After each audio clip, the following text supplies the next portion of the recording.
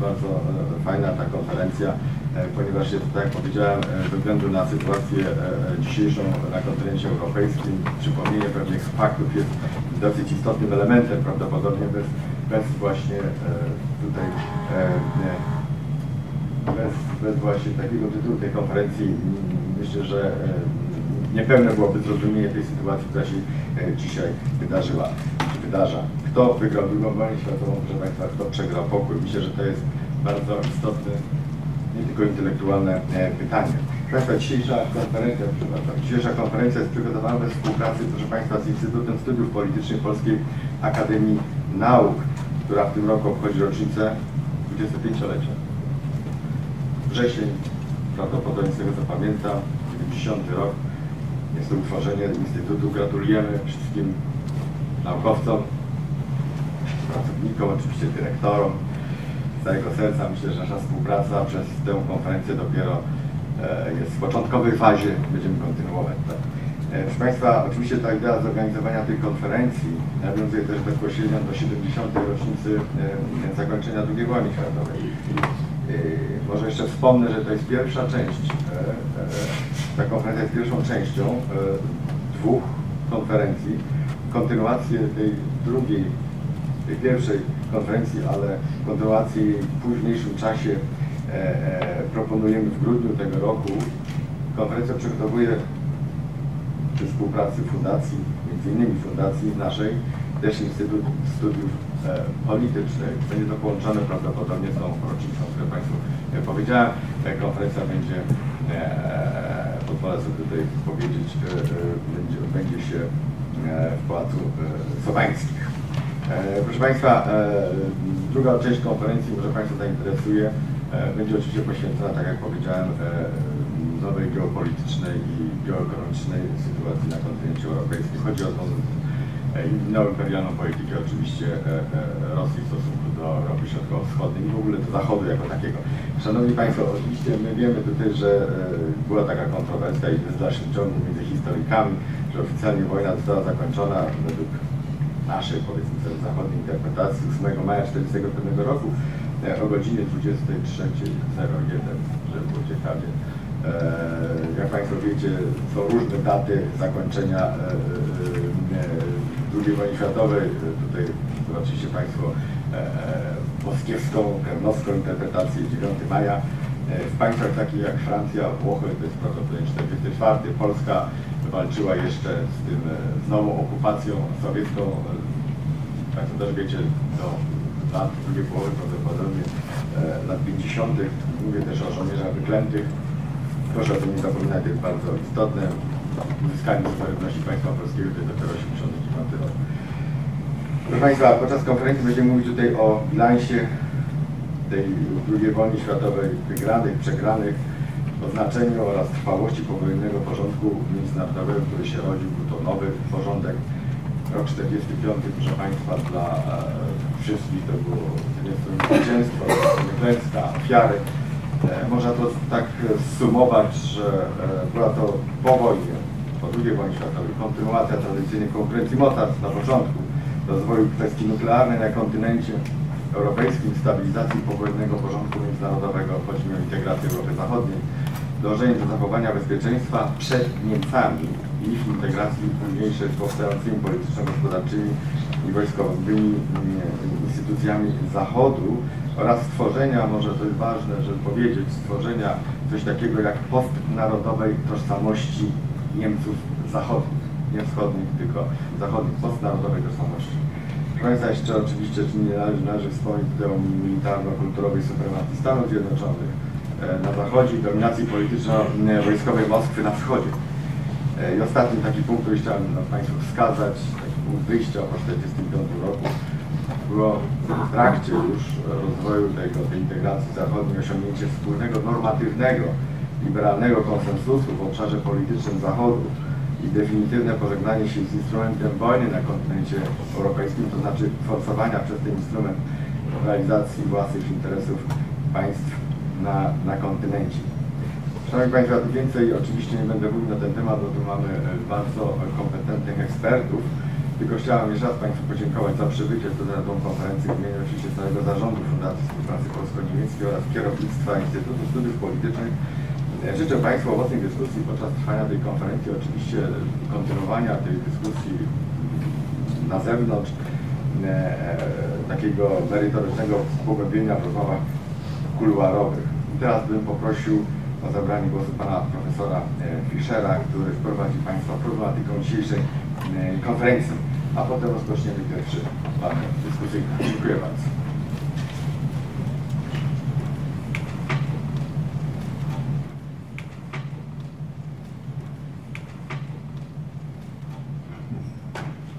Dzień dobry Państwu, Szanowni Państwo, Panie i Panowie.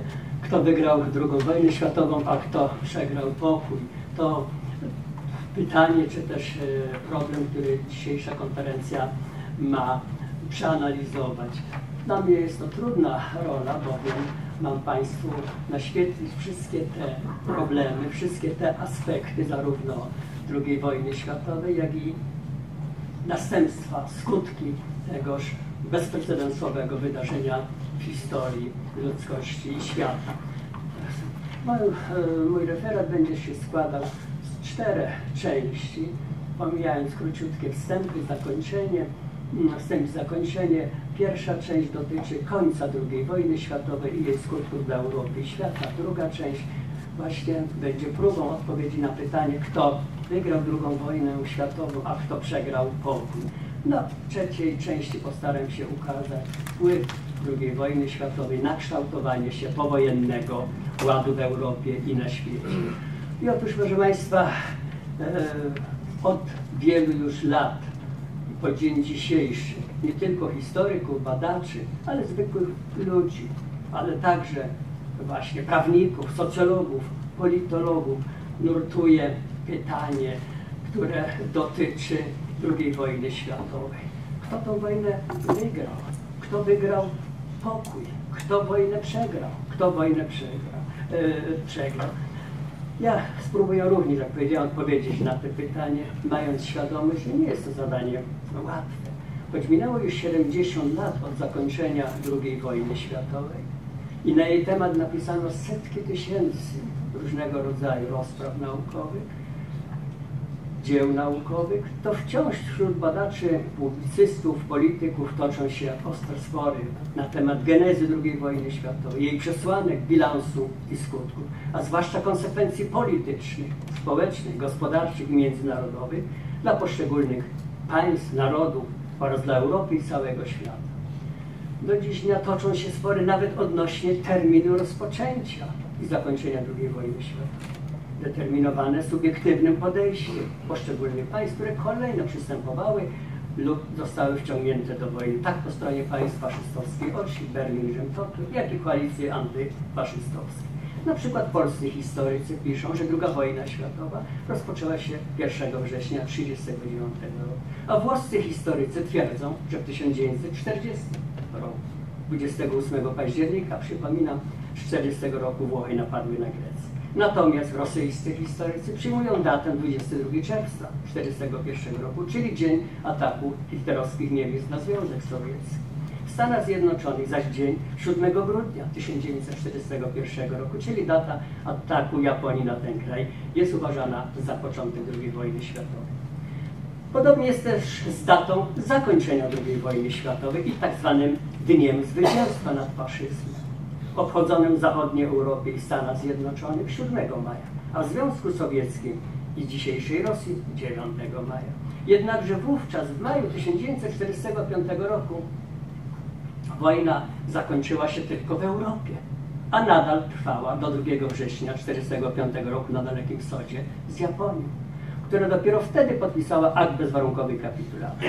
Zatem dopiero wówczas zakończyła się II wojna światowa Akt bezwarunkowej kapitulacji Japonii zresztą został przyspieszony decyzją rządu Stanów Zjednoczonych o użyciu przeciwko temu państwu broni masowej zagłady, broni atomowej. Przypominam, zrzuconej 6 sierpnia na Hiroshima, a 8 sierpnia na Nagasaki.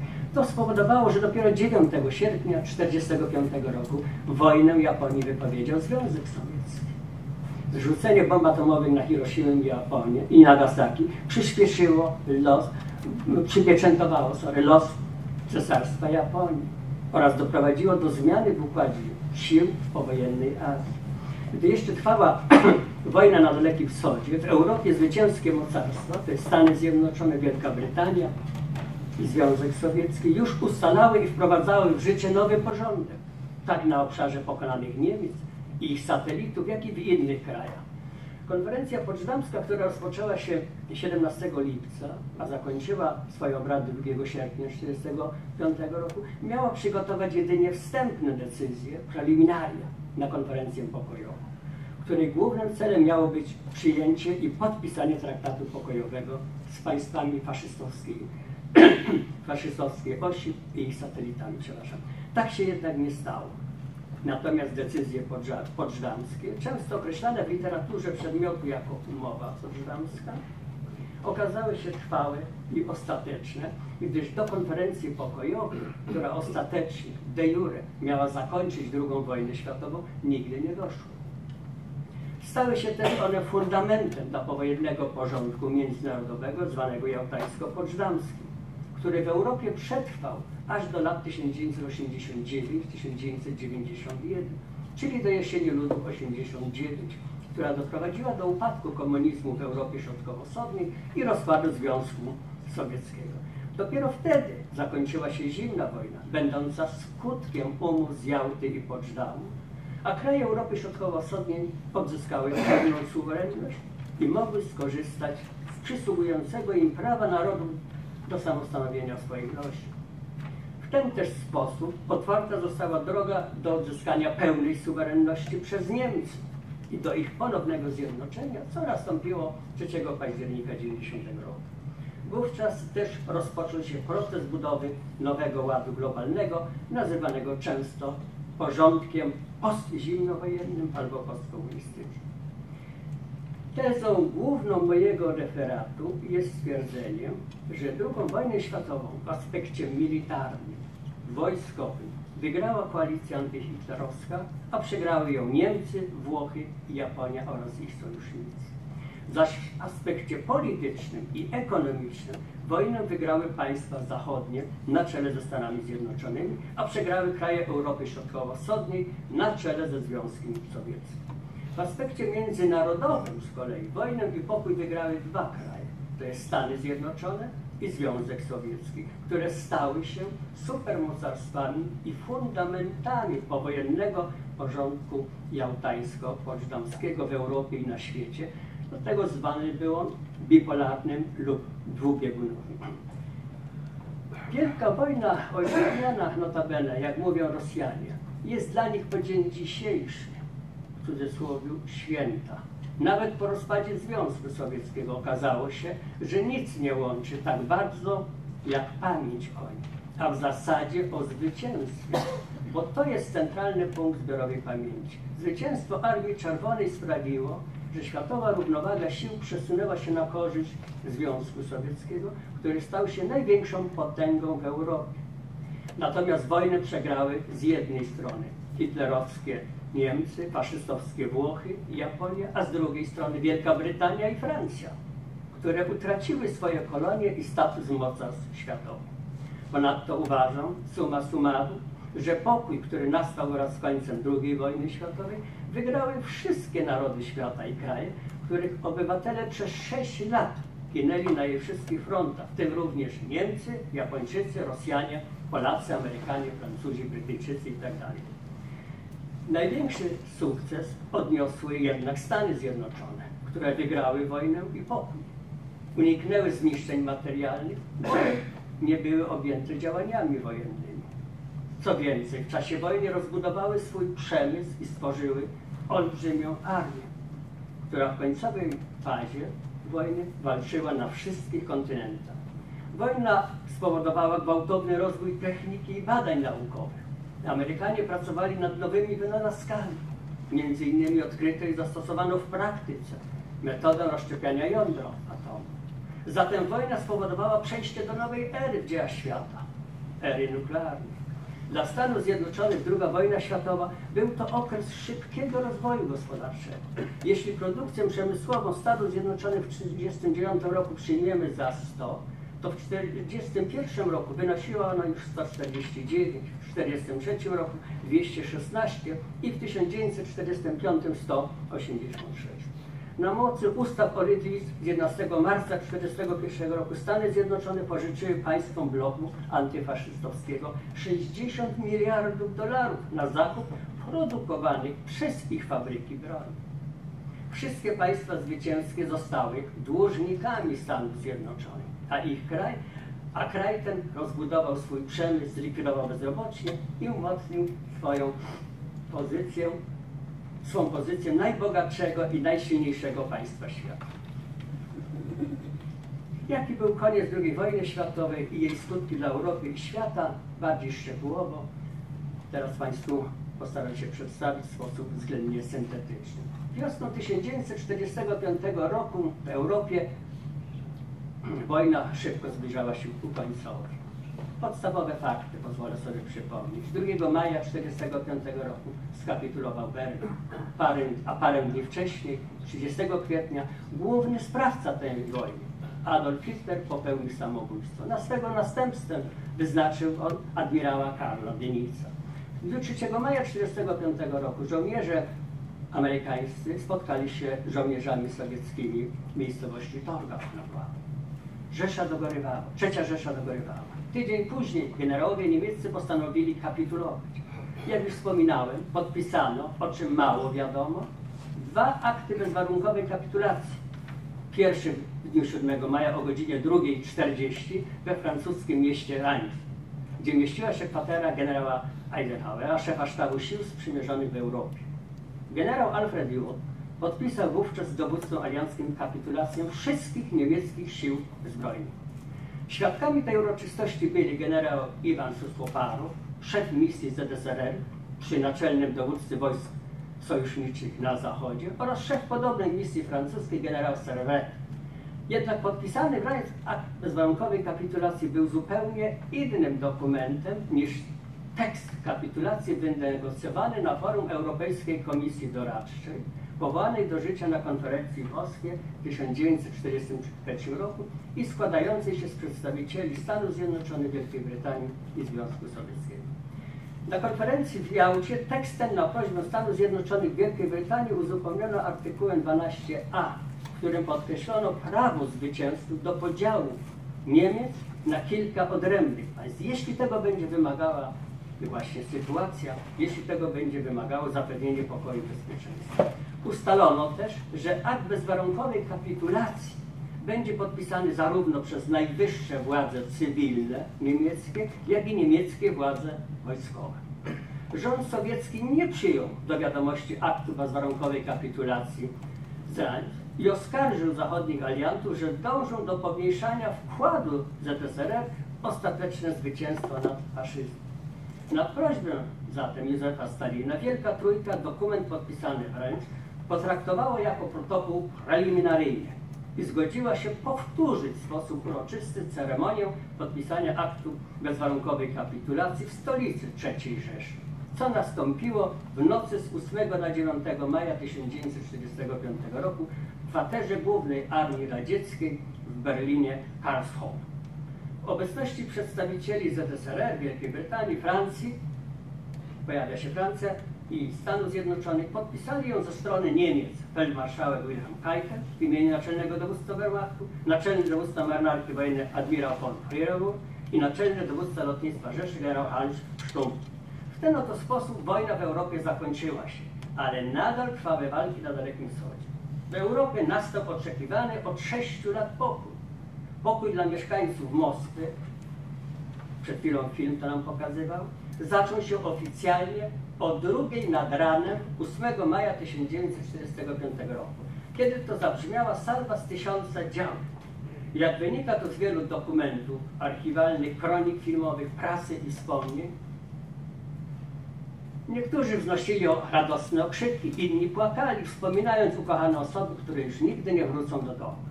Na londyńskim Trafalgar Square zgromadzeni tłumie Brytyjczycy zapalali sztuczne ognie, śpiewali i padali sobie w ramiona.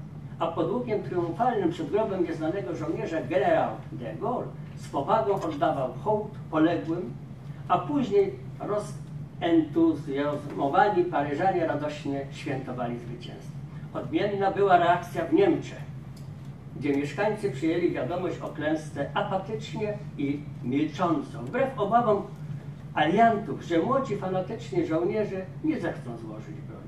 Wbrew, wbrew temu, co przez wiele lat głosiła historiografia marksistowska, głównie w ZSRR i w byłej NRD, koniec III Rzeszy nie był przyjmowany przez społeczeństwo niemieckie jako wyzwolenie, ale również jako załamanie i beznadziejna klęska, a tylko dla niewielkich grup oznaczał wyzwolenie od hitlerowskiej dyktatury.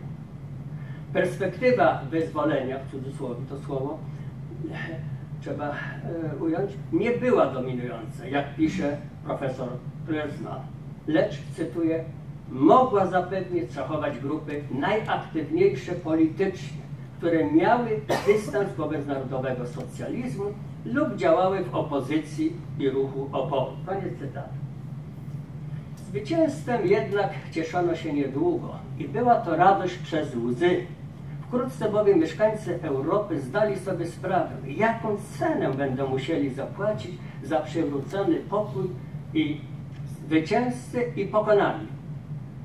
Ten szlachetny kontynent, mówił w 1946 roku w Szwajcarii Winston Churchill, składa się, cytuję, z nieprzebranych, drżącej masy udręczonych, głodnych, zgnębionych i zdezorientowanych istot ludzkich, patrzących na ruiny swoich miast i badawczo przyglądających się ciemnemu horyzontowi, obawiając się jakiegoś nowego niebezpieczeństwa, tyranii lub okrucieństwa. Koniec cytatu. Jakże prorocze były to słowa, jakże trafna diagnoza i prognoza dla powojennej Europy i świata, a szczególnie dla państw Europy Środkowej i Wschodniej, wyzwolonych przez armię sowiecką, które już wkrótce utraciły swoją suwerenność i znalazły się w strefie wpływu Związku Sowieckiego. Zostały zbasalizowane i poddane brutalnej sowietyzacji, a mówiąc ściślej, stalinizacji. Druga wojna światowa miała gigantyczny zasięg totalny charakter i dalekosiężne skutki. Trwała dokładnie 6 lat, od 1 września 1939 roku do 2 września 1945 roku. Objęła 61 państw na kuli ziemskiej. Poza jej zasięgiem pozostało tylko 6 państw ówczesnego świata. Formalnie biorąc, objęła ona 1,7 miliarda ludzi, to jest 80% mieszkańców świata. Działania wojenne prowadzono na terenie 40 państw. Pod broń powołano 110 milionów ludzi, spośród których poległo około 70 milionów. Na prowadzenie wojny wydano około 1 biliona dolarów. Spowodowała ona wielkie straty ludzkie i zniszczenia materialne. W samej Europie szacowano je na 260 miliardów dolarów. Strat tych nie da się w pełni obliczyć. Historycy operują różnymi przybliżonymi danymi na ten temat. Dane te mają często szacunkowy charakter i tylko w przybliżeniu oddają rozmiary strat. Największe straty poniósł Związek Sowiecki. Liczbę zabitych szacowano początkowo na 17 milionów osób, w tym 7 milionów wojskowych i 10 milionów cywilnych. Ale w latach 1990-1996 dokonano weryfikacji tych danych. Wysokość strat podniesiono do 27 milionów zabitych i zaginionych bez wieści. Zniszczenia materialne oszacowano na 128 miliardów dolarów. Olbrzymie straty i zniszczenia poniosły też Niemcy. Straty osobowe Niemiec początkowo szacowano na 4 do 9 milionów osób. Większość historyków niemieckich ostatecznie przyjęła, że straty te wynoszą 5 milionów osób. W tym bombardowania spowodowały straty około 500 tysięcy ludzi. Wśród ludzi, wielu ludzi zginęło też w obozach koncentracyjnych w czasie ewakuacji, zwłaszcza zimą z 1934 na 1945 rok. Wielkie straty materialne i ludzkie poniosła Polska. Szacowano je na 6 milionów osób, w tym około 160 tysięcy na frontach i 5,8 miliona na skutek dyskryminacyjnej polityki okupantów. Wśród 5,8 miliona osób, które poniosły śmierć z rąk okupantów, znajdowało się około 3 milionów ludności żydowskiej. straty materialne Polski oszacowano na 38% majątku narodowego. Znacznie mniejsze straty poniosła Francja, która straciła około 600 tysięcy ludzi, w tym tylko 160 tysięcy w czasie walk. Łatwo powiedzieć, w tym tylko 160 tysięcy. Przecież to przerażać muszą. Każdy człowiek, każda śmierć była niepotrzebna. Większe były zniszczenia wojenne, ponieważ na terenie Francji walki toczyły się i w 1940 roku, i w latach 1944-45. Straty Wielkiej Brytanii z kolei oszacowano na 1,1 miliona osób. W tym było około 500 tysięcy ofiar bombardowań niemieckich. Ogólnie rzecz biorąc, każde z wojujących państw poniosło wielkie, niewyobrażalne straty osobowe i zniszczenia materialne, które odbudowywano przez wiele długich lat. Państw neutralnych było tylko kilka, a mianowicie Hiszpania, Portugalia, Szwecja i Szwajcaria. Kraje te wygrały na wojnie, pozostałe, pozostałe bardzo straciły. Wojnę odczuli wszyscy mieszkańcy Europy, a, odpowiedzialność za jej skut, a odpowiedzialnością za jej skutki obarczono Niemcy. W 1945 roku mało kto na świecie odróżniał Hitlera i jego zwolenników od jego przeciwników, których de facto była tylko garstka. Potępiano naród niemiecki w całości i żądano surowej kary dla Niemiec, ich demilitaryzacji, decentralizacji, denazyfikacji i demokratyzacji oraz zabezpieczenia Europy przed nową agresją ze strony tego kraju, co znalazło wyraz w umowie pocztańskiej.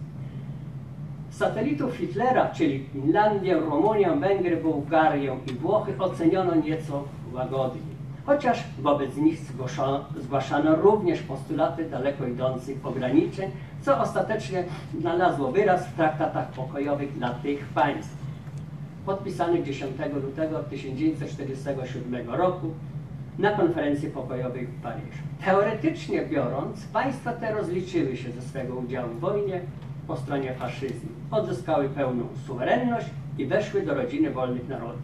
Zostały też wkrótce przyjęte do ONZ.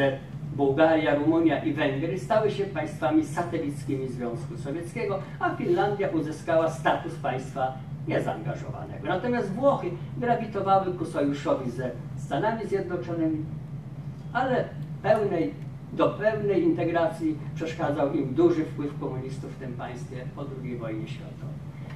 Próbuję teraz odpowiedzieć na pytanie par kto wygrał II wojnę światową, a kto przegrał pokój.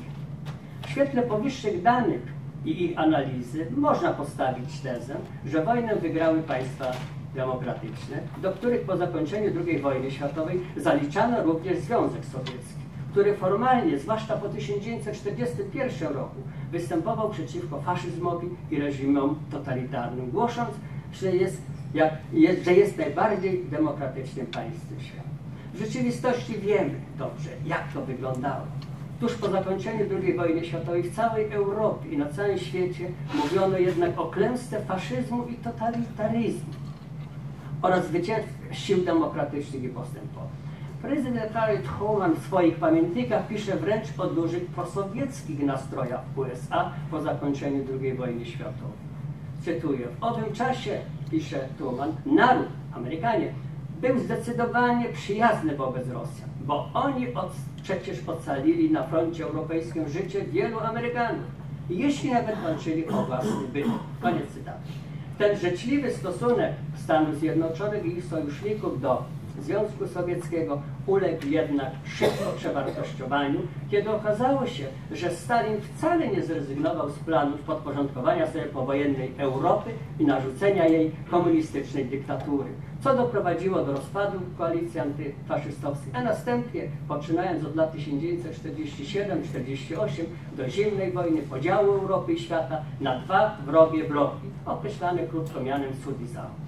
Suma summarum, II wojna światowa zakończyła się poważnym osłabieniem Europy i umocnieniem roli Stanów Zjednoczonych i, demokrat, i idei demokratycznych na świecie. Z drugiej strony, wraz ze zwycięstwem Armii Czerwonej i zajęciem przez nią w 1945 roku prawie pół Europy, pojawiło się dla niej i całego świata nowe zagrożenie w postaci sowieckiego imperializmu i totalitaryzmu. Wpływ II wojny światowej na kształtowanie się powojennego ładu w Europie i na świecie był niewątpliwie duży. II wojny światowej, II wojny światowej nie można rozpatrywać jako wydarzenia wyrwanego z kontekstu historycznego. Dzieje Europy po 1945 roku różnią się od okresu międzywojennego. Są nierozerwalnie związane z tym, co się stało w latach 1919-1945. Zawarty w 1945 roku pokój w niczym nie przypominał układu i pokoju z 1919 roku. Brakowało też wiary, nawet chwilowej trwałości pokoju, mimo bezwarunkowego poddania się najważniejszych pokonanych państw Niemiec, Japonii, Włoch i utworzenia nowej organizacji dla pilnowania pokoju i bezpieczeństwa w powojennym świecie, czyli Organizacji Narodów Zjednoczonych mającej do, mającej do dyspozycji znacznie więcej możliwości egzekwowania swoich postanowień niż dawna Liga Narodów. Znamienne było też to, że na siedzibę ONZ wybrano Nowy Jork, a nie Genewę czy inne miasto w Europie, na przykład Berlin. W powojennym świecie słowo globalne nabrało nowego znaczenia. Globalny ład międzynarodowy, problemy globalne, a nawet broń globalna, które oferowały ludzkości możliwość wyboru i zastanowienia się nad równowagą odstraszaniem, odstraszaniem terrorem i władzą. Konkludując niniejsze rozważania, chciałbym raz jeszcze podkreślić, że II wojna światowa zmieniła radykalnie Europę i świat. Stała się akceleratorem nowych procesów społecznych, politycznych, gospodarczych i międzynarodowych w drugiej połowie XX wieku. Ostatecznie zakończyła wiek XIX, moim zdaniem, który był wiekiem Europy i sprawiła, że XX wiek stał się wiekiem Stanów Zjednoczonych i Związku Sowieckiego. Dziś te czasy powoli przechodzą do historii. Związku Sowieckiego już nie ma na świecie, a czasy światowej hegemonii Stanów Zjednoczonych powoli kończą się. Wiek XXI będzie prawdopodobnie wiekiem Azji i tak zwanych mocarstw sodzących na czele z Chinami i Indiami. Bardzo dziękuję za uwagę.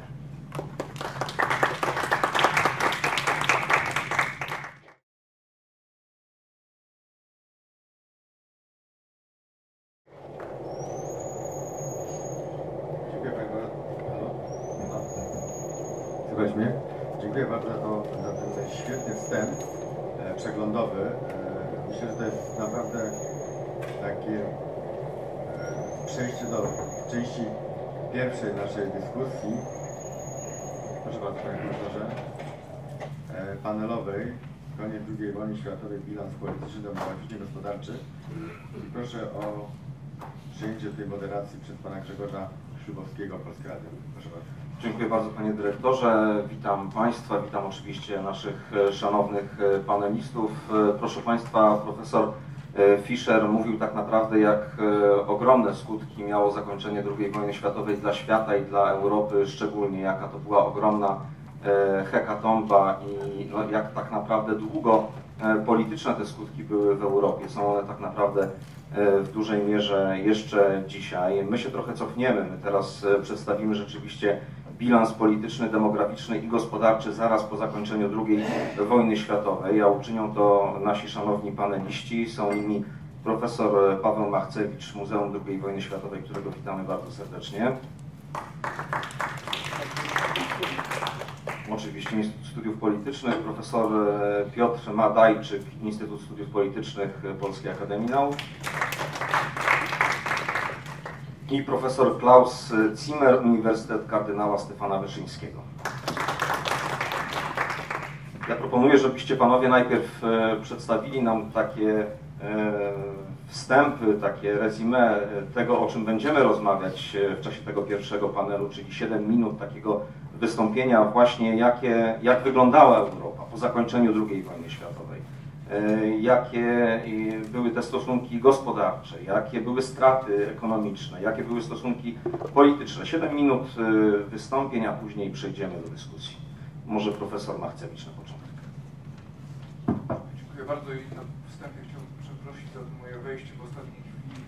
Po prostu pociąg z mnie ze Szyna był spóźniony 50 minut, no ale udało się. Niestety koleje mazowieckie i odbywa się remont toru, a ponieważ most e, Łazienkowski są spalony, to naprawdę nie ma żadnej sensownej możliwości szybciej wydostania się o tej porze e, z mojej wsi. E, nie wiem, w rodzinnej, ale w której zamieszkuję. Proszę Państwa, tak 7, 7 minut nie jest wiele na określenie pejzażu politycznego, gospodarczego i demograficznego Polski, Europy w momencie końca wojny, ale no postaram się być jak najbardziej zwięzły. E, jeśli chodzi o bilans demograficzny, od którego należy chyba zacząć, to tutaj możemy tylko spekulować pewnymi przybliżeniami.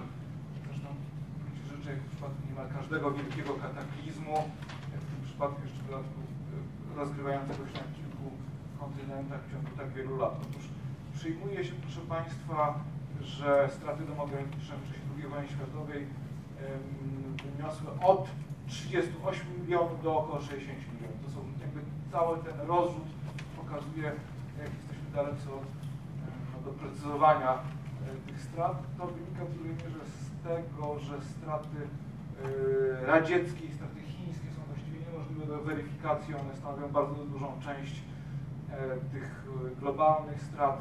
To też wynika jakby ta rozbieżność z faktu, że nie jest oczywiste, czy powinniśmy zaczynać E, straty demograficzne od 1 września 1939 roku, no, mamy do tego skłonność, w pewnym sensie prawo, także historyczne w Polsce, ale na przykład e, część badaczy, mówiąc już o władzach ludności Chińskiej Republiki Ludowej, uważa, że te straty należy liczyć. Bądź od 1937 roku, czyli od momentu agresji na Japonia, a nawet może od e, Japonii na Chiny, przepraszam, dlatego się śpieszę, bądź nawet od agresji Japonii na, no też na Chiny w pewnym sensie bardziej ograniczonej, czyli przyłączenia Mandżurii 1931 roku. Jeśli chodzi o straty polskie, to tutaj no, oczywiście te rozbieżności są mniejsze, ale nadal nie jesteśmy w stanie podać precyzyjnych liczb. Ta e, liczba podawana przez władze Polski Budowej już właściwie od 1945 roku, czyli około 6 milionów była przyjęta arbitralnie, bez właściwie żadnych bliższych obliczeń. Ona była narzucona przez władzę. Tutaj rolę odegrał e, Jakub Berman, który po prostu podyktował e, tę liczbę. E, dzisiaj się przyjmuje też, pozostając w szacunku, że polskie straty demograficzne, jeśli chodzi o polskie obywateli, to jest około 5, 5 miliona zabitych, w tym około 3 milionów zamordowanych polskich Żydów, e, czyli jeśli chodzi o etnicznych Polaków, prawdopodobnie będzie to liczba w granicach około 2 e, milionów. Jeśli mówimy o strukturze demograficznej, to oczywiście powinniśmy mówić nie tylko o stratach e, no, bezpośrednich, ludzkich, ale także o przemieszczeniach ludności.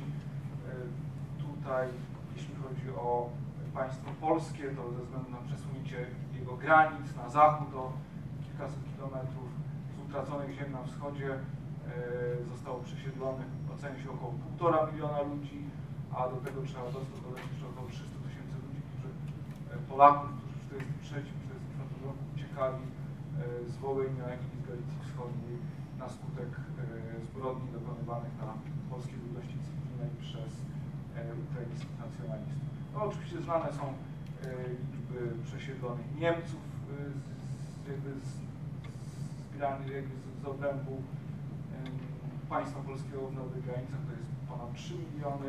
Do tego trzeba dodać taką kategorię też bardzo ważną, o której mamy niekiedy skłonność zapominać, Polacy, jak i Niemcy, około pół miliona Ukraińców przesiedlonych w 1944 roku. Ja nie liczę tutaj tych Ukraińców, którzy zostali przesiedleni w ramach akcji jakby w obrębie granic e, państwa polskiego. Tutaj warto może jeszcze jedno spostrzeżenie e, poczynić, że e, jeśli chodzi o ziemie zachodnie i północne, ziemie, które Polska przejęła e,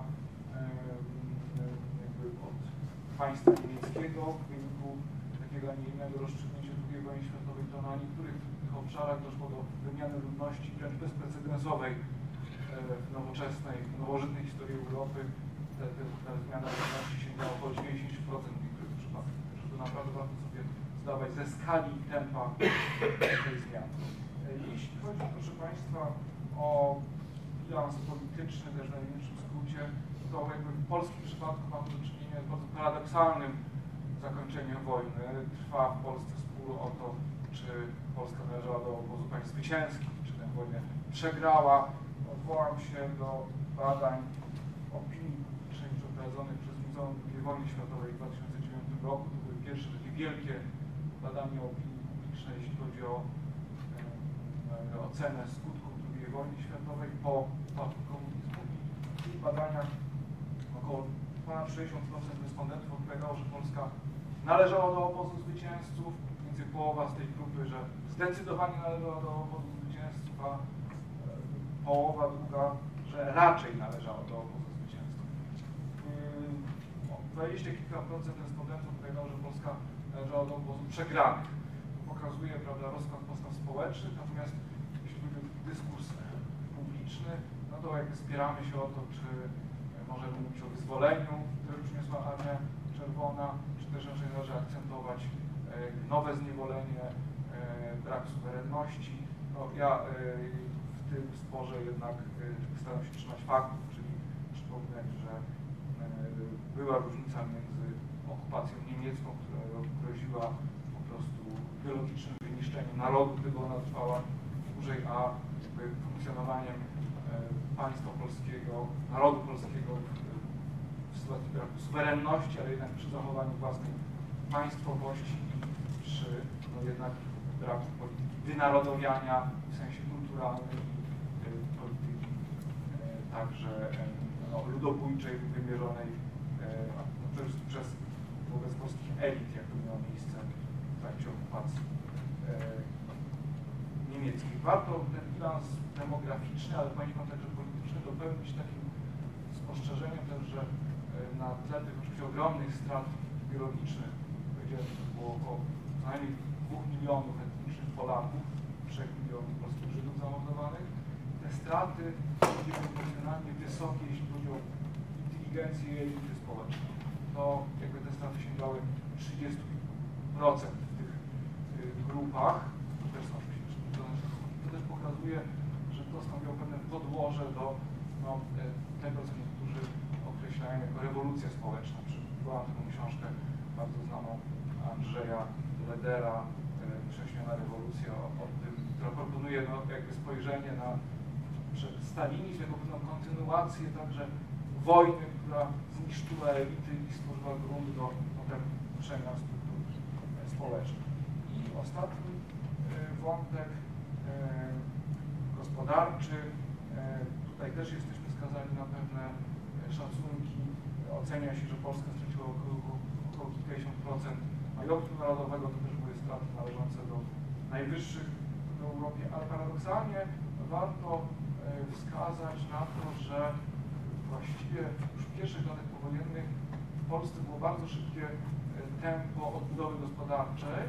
E, pewnym paradoksem jest, że tutaj znowu nie mam żadnych twardych, precyzyjnych danych, no ale wielu historyków gospodarki wskazuje na to, że Polska w trakcie planu trzyletniego, czyli tego pierwszego planu powojennego odbudowywała się zniszczeń, ze zniszczeń powojennych szybciej niż niektóre państwa Europy Zachodniej e, w tym czasie. E, tutaj przywołam może takie świadectwo też literackie, e, dzień podróży po Niemczech i Austrii Jerzego Stępowskiego. On podróżował po tych krajach pod koniec 1945 roku i zostawił takie świadectwo bardzo przejmujące. No właściwie ludzi żyjących wciąż w ruinach, na zgliszczach i w takim stanie beznadziejności jakby nie widać było odbudowy, wychodzenia ze zniszczeń wojennych. Raczej Stępowski akcentował poczucie właśnie beznadziejności, marazmu, co jakby kontrastuje z wieloma relacjami dotyczącymi tego, co się działo w Polsce właśnie w ciągu lat kilkunastu pierwszych miesięcy po zakończeniu wojny. I może tak jeszcze, jeśli chodzi o bilans gospodarczy, przede wszystkim z perspektywy już nie pierwszych lat powojennych, ale chociażby naszej dzisiejszej perspektywy, z perspektywy 10 lat po zakończeniu wojny. Z tej perspektywy, może wyłożę tutaj niepopularne zdanie,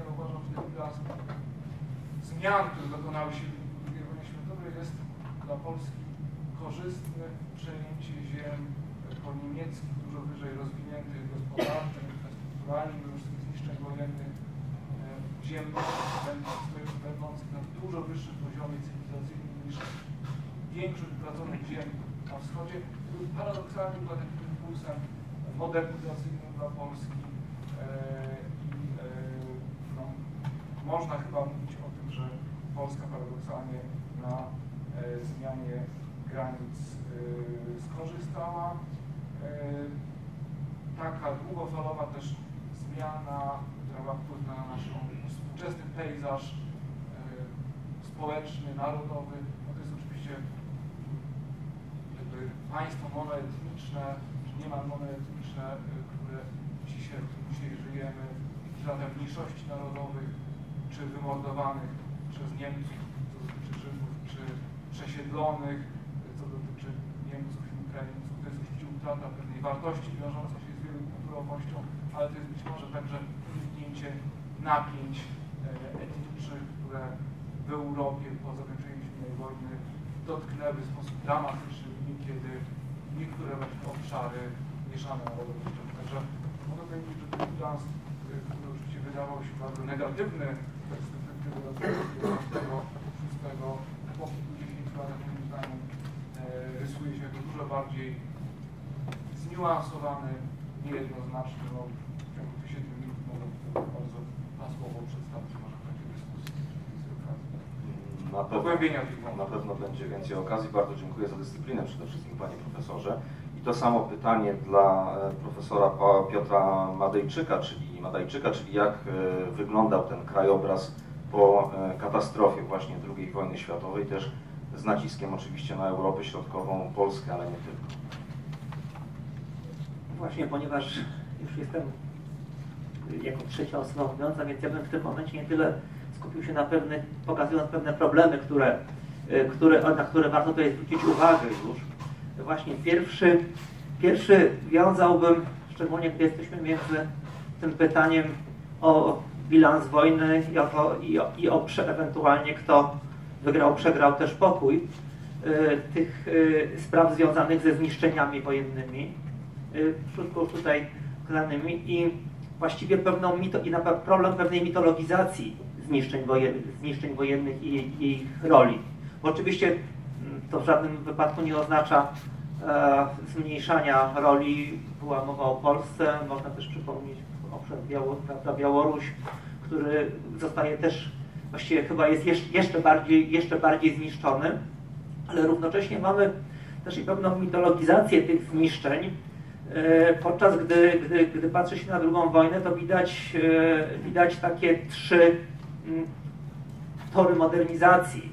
Pierwszy to jest, no tak jak Stany Zjednoczone, które, e, które gospodarka pracuje na rzecz wojny, które właściwie, jak niektórzy oceniają, dzięki temu ostatecznie wychodzi z, z tych pozostałości kryzysu jeszcze lat 30. E, To jest e, druga możliwość, to, jest, to są obszary, które pracują na rzecz przemysłu, na, na rzecz, na rzecz e, niemieckiego wysiłku wojennego. To będzie, to będzie Czechosłowacja, to będzie Górny Śląsk, który ulega niesamowitej modernizacji w okresie wojny, bo to jest zaplecze.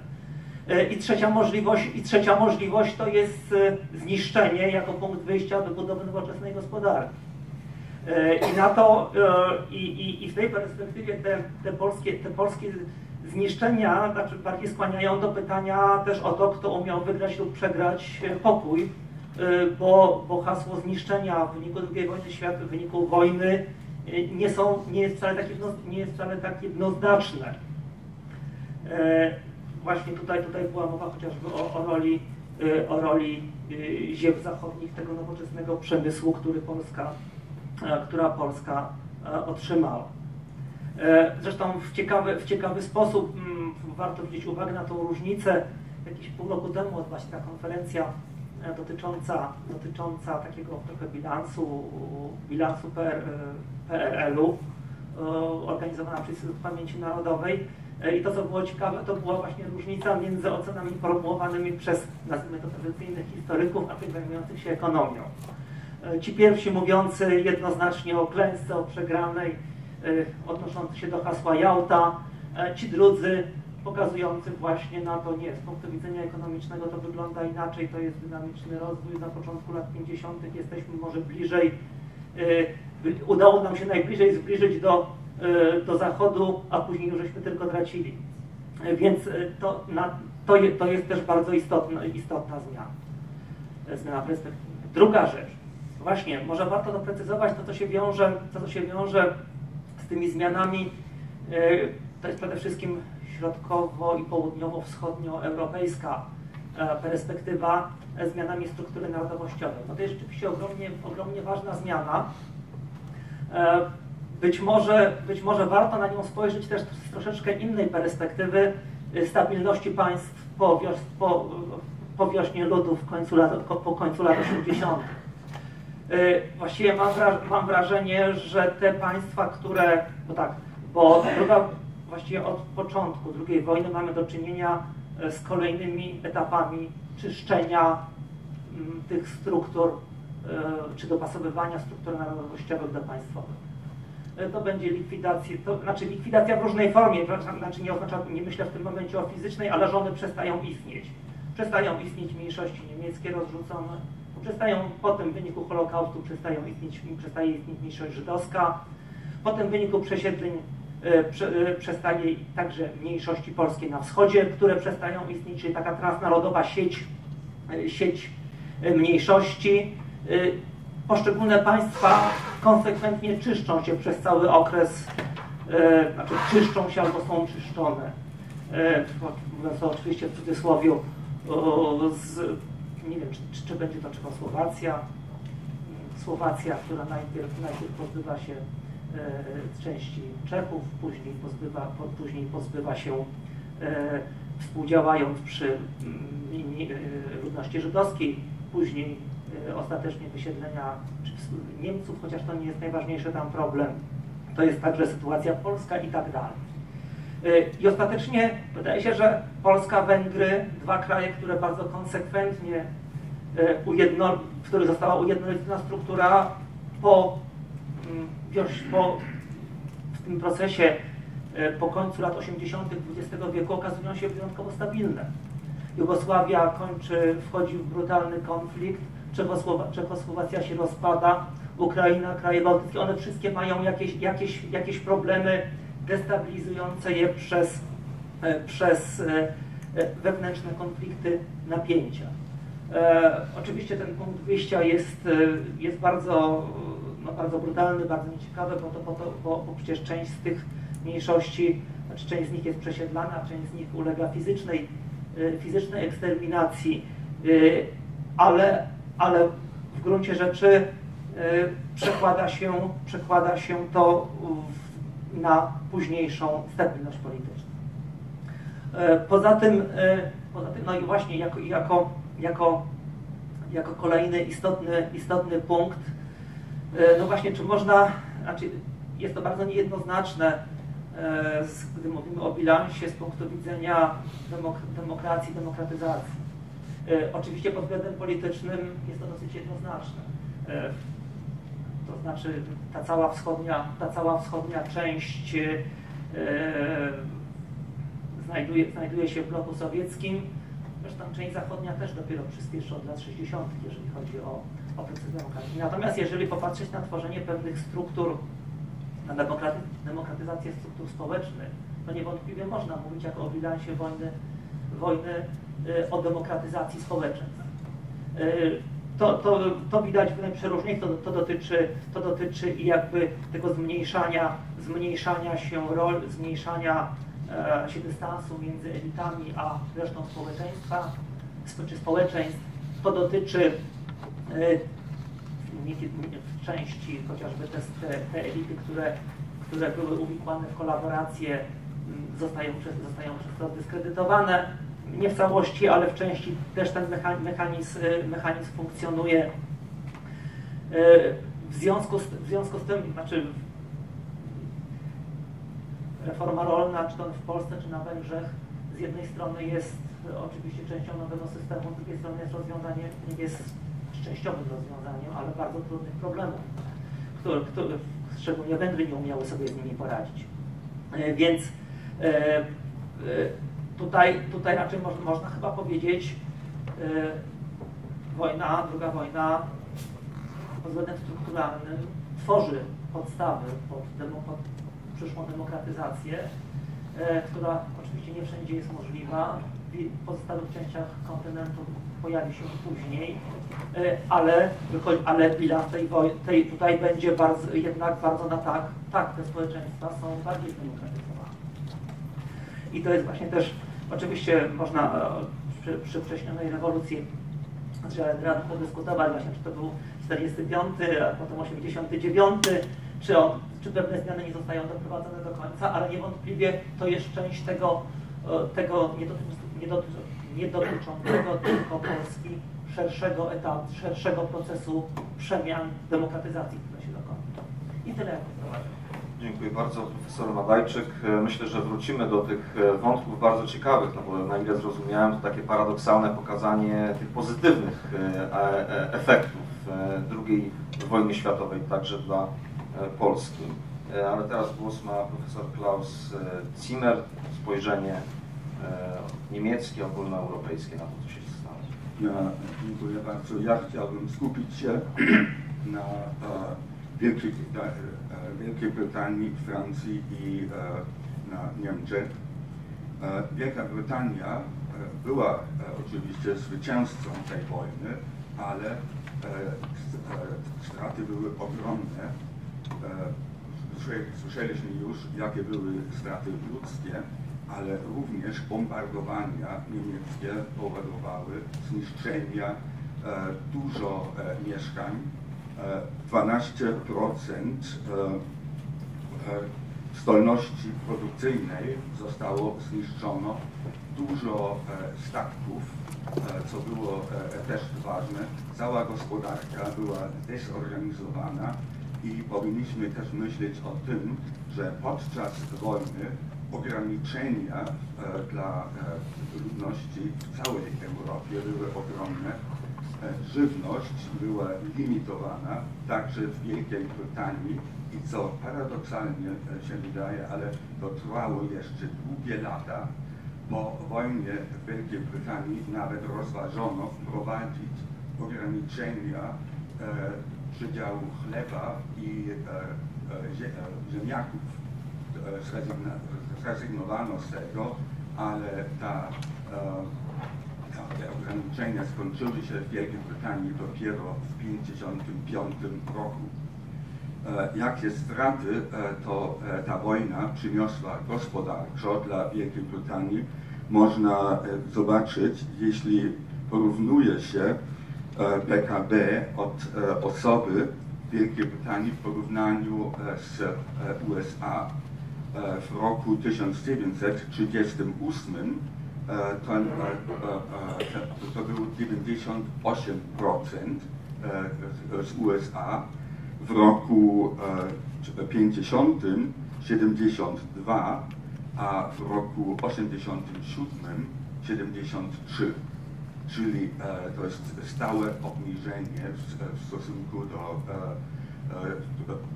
do e, bogactw, bogactwa Stanów e, Zjednoczonych. E, Jeśli patrzymy na Francję, również e, ogromne straty gospodarcze. Tu mamy również mieszkania, pro- produk- e, miejsca produkcji, fabryki zniszczone.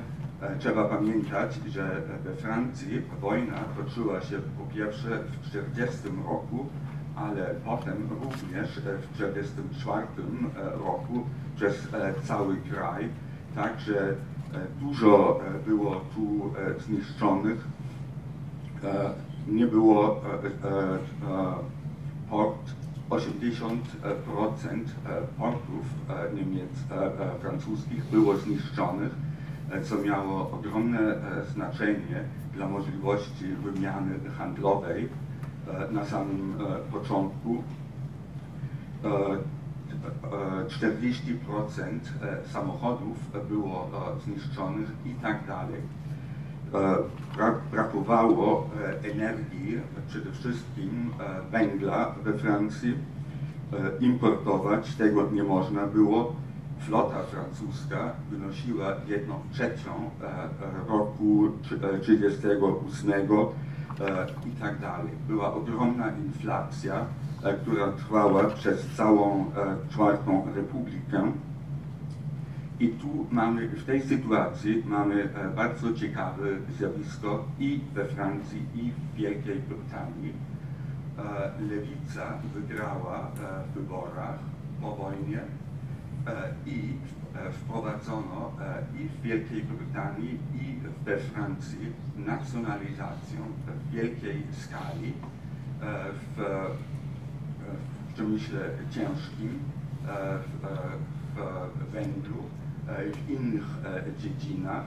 W Wielkiej Brytanii wprowadzono welfare state, bardzo socjalistyczny program, i we Francji również, we Francji do roku 1947 komuniści byli w rządzie, był front ludowy, wprowadzono gospodarkę planowaną i nacjonalizowano z jednej strony takie fabryki, które kolaborowały z Niemcami, jak Renault, Berlier i inni, ale również sektory strategiczne, jak gaz, węgiel, prąd, zostały znacjonalizowane. I wprowadzono gospodarkę planowaną, przynajmniej indykacyjną, i to trwało, co mało kto wie, do 21 roku. Francja miała plany gospodarcze pięcioletnie, ale oczywiście to dotyczyło tylko gospodarki nacjonalizowanej. Straty zewnętrzne były znaczne. Francja straciła Indochiny, to znaczy Wietnam, Kambodża, Laos. Tam podczas II wojny światowej była administracja kolonialna, która była lojalna wobec Vichy, współpracowała z Japonią. Oni uciekali po wojnie i potem zaczęła się wojna kolonialna tam, która skończyła się klęską Francuzów w 1954 roku.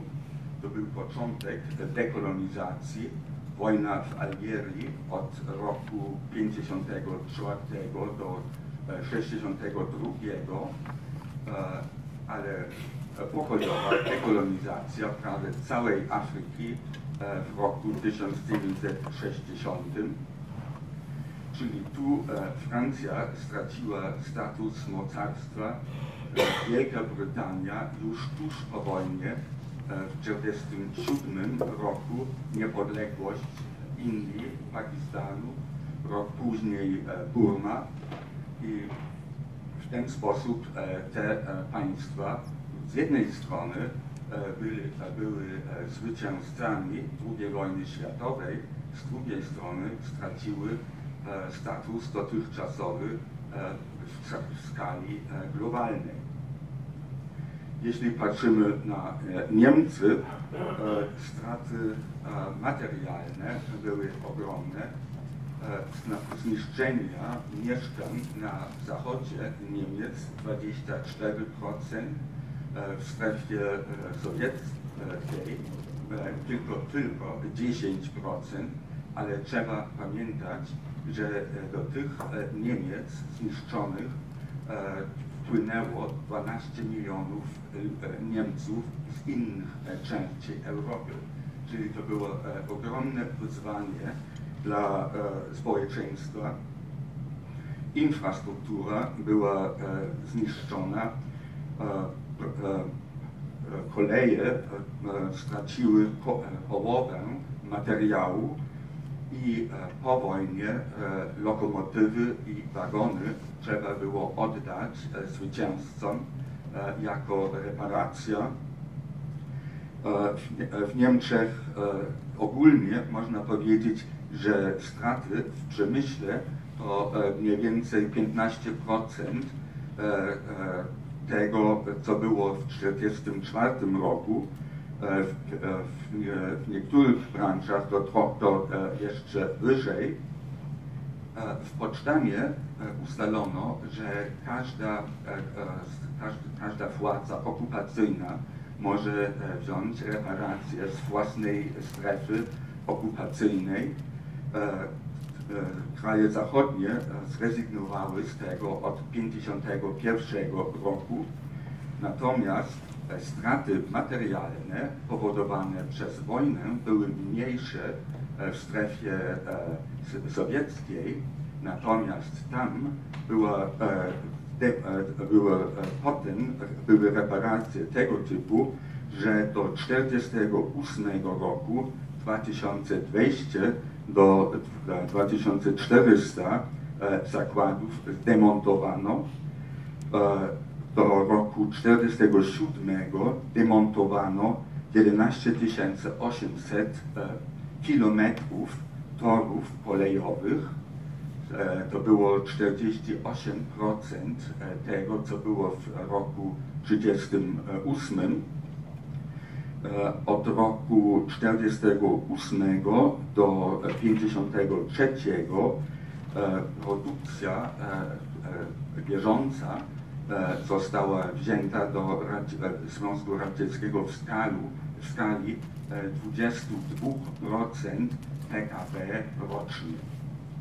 I Związek Radziecki zrezygnował z takich reparacji po powstaniu w czerwcu 1953 roku, ale obliczono teraz ile płaciła ta strefa radziecka do Związku Radzieckiego i to jest 14 miliardów dolarów w cenach 1938 roku lub 99 miliardów marek w cenach 1953 roku.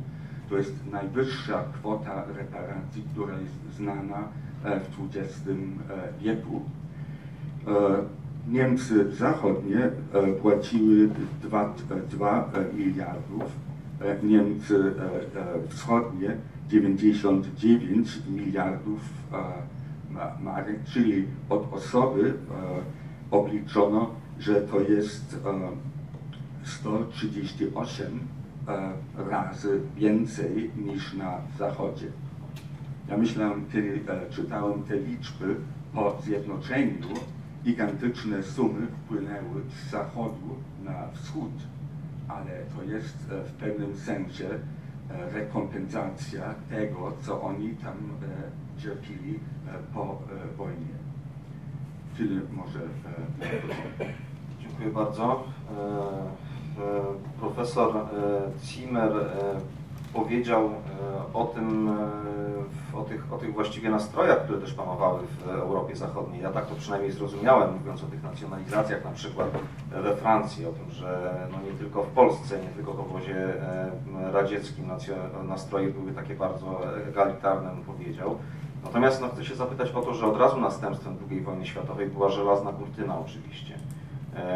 No i fakt, że znaleźliśmy się po tej stronie, po której się znaleźliśmy, też no, nie miał pozytywnego skutku dla tej modernizacji, o której też mówił profesor Madajczyk, która no, niby była duża, jak rozumiem, była, była ogromna, no, ale, ale, ale jednak to było tak, że te państwa, które znalazły się po drugiej stronie żelaznej kurtyny, nie mówiąc tylko o Niemczech, rozwijały się no, zdecydowanie dużo, dużo szybciej. Jak panowie to oceniacie? Może profesor Marcewicz? No bo rozumiem, że pomoc amerykańska tutaj też była kluczowa. My się tego jakby zostaliśmy pozbawieni. Oczywiście odcięcie Polski od Zachodu żelazną kurtyną było dla nas nieszczęściem historycznym. Tak samo, może przede wszystkim oczywiście było nieszczęściem, że my musieliśmy funkcjonować w warunkach dyktatury przez do pewnego momentu totalitarnej dyktatury, potem tracącej swoje cechy totalitarnej, bardziej się przybliżającej do modelu autorytarnego, ale niewątpliwie dyktatury, braku demokracji, braku wolności politycznej. Natomiast jeśli chodzi o kwestię modernizacji rozwoju gospodarczego, to moim zdaniem ta sytuacja jest dużo bardziej skomplikowana i mamy skłonność rzutować nasze oceny, współczesne oceny odnoszące się do przyszłości, mamy skłonność rzutować jakby na gruncie no, przekonania o absolutnym, jednoznacznym krachu komunizmu i tego modelu rozwoju, no, który stał się naszym doświadczeniem pod koniec lat 80. i który no, określił naszą świadomość w czasie wychodzenia z komunizmu, wybudowania gospodarki rynkowej. E, myślę, że ta perspektywa jest do pewnego stopnia, jeśli nie fałszywa, to przynajmniej jednostronna i taka deformująca wszystkie no, odcienie historii, które były naprawdę e, wieloznaczne i bardziej skomplikowane niż nam się to wydaje. Otóż, e, tak jak już tutaj zasygnalizowaliśmy, po pierwsze można argumentować, że e, odbudowa gospodarcza w pierwszych latach powojennych, realizowana w Polsce, a być może i w innych krajach Europy Środkowo-Wschodniej, w warunkach gospodarki upaństwowionej, czyli jakby z dominującą rolą państwa i, i z państwem jako tym impulsem do odbudowy i rozwoju gospodarczego przynosiła większe sukcesy niż w pierwszych latach powojennych w Europie Zachodniej. Tam y, dopiero plan Marszala, który był realizowany od 1948 roku, przyniósł ten właśnie impuls rozwoju i doprowadził no, do takiego ostatecznego przezwyciężenia materialnych zniszczeń związanych z II wojną światową. Więc ja uważam, że jeśli chodzi o pierwsze lata powojenne, to na pewno to nie jest taki obraz czarno-biały tej niższości rozwoju e, w ramach modelu etatystycznego, czy od pewnego stopnia wręcz komunistycznego.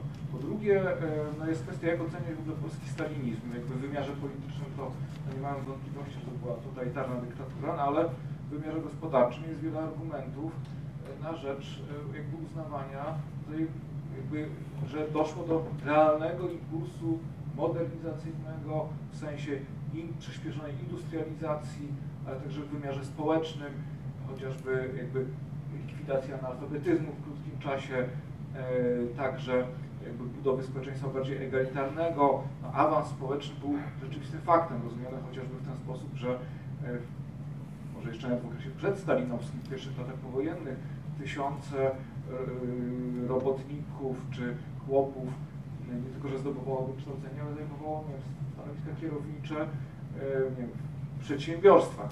To potem, po 1956 roku paradoksalnie te kanały awansu uległy zahamowaniu, ale ten pierwszy okres Polski Ludowej no, niewątpliwie był y, czasem modernizacji gospodarczej i społecznej. I tutaj takie porównanie, proszę Państwa, się zajmowałem, interesowałem Hiszpanią, czy w ogóle Półwyspem Pirenejskim.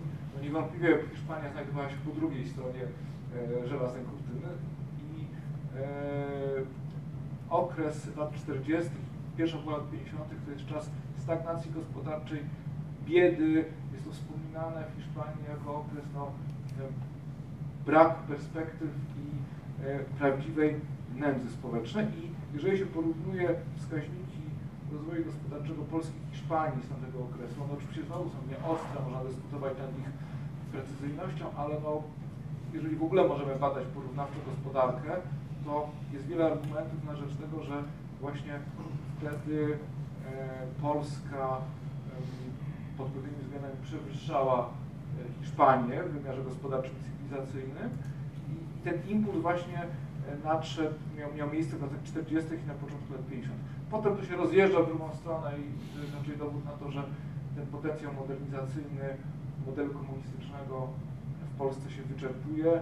W latach 60. możemy mówić już o stagnacji, potem lata 70. są bardziej skomplikowane, no ale to się kończy wszystko krachem gospodarczym. Także myślę, że jednak w wymiarze gospodarczym, cywilizacyjnym y, ten bilans jest dużo bardziej skomplikowany, niejednoznaczny niż w wymiarze To jak to jest w takim razie w wymiarze struktury społecznej? Chciałem zapytać e, profesora e, Madajczyka. Ja jestem po lekturze książki Keita Love Dziki kontynent Europa po II wojnie światowej, gdzie on opisuje właśnie taki e, no, bardzo negatywny wymiar tego, co się działo zaraz po wojnie. Znaczy społeczeństwo no, pozbawione mężczyzn w dużym stopniu, anarchia, anarchia totalna,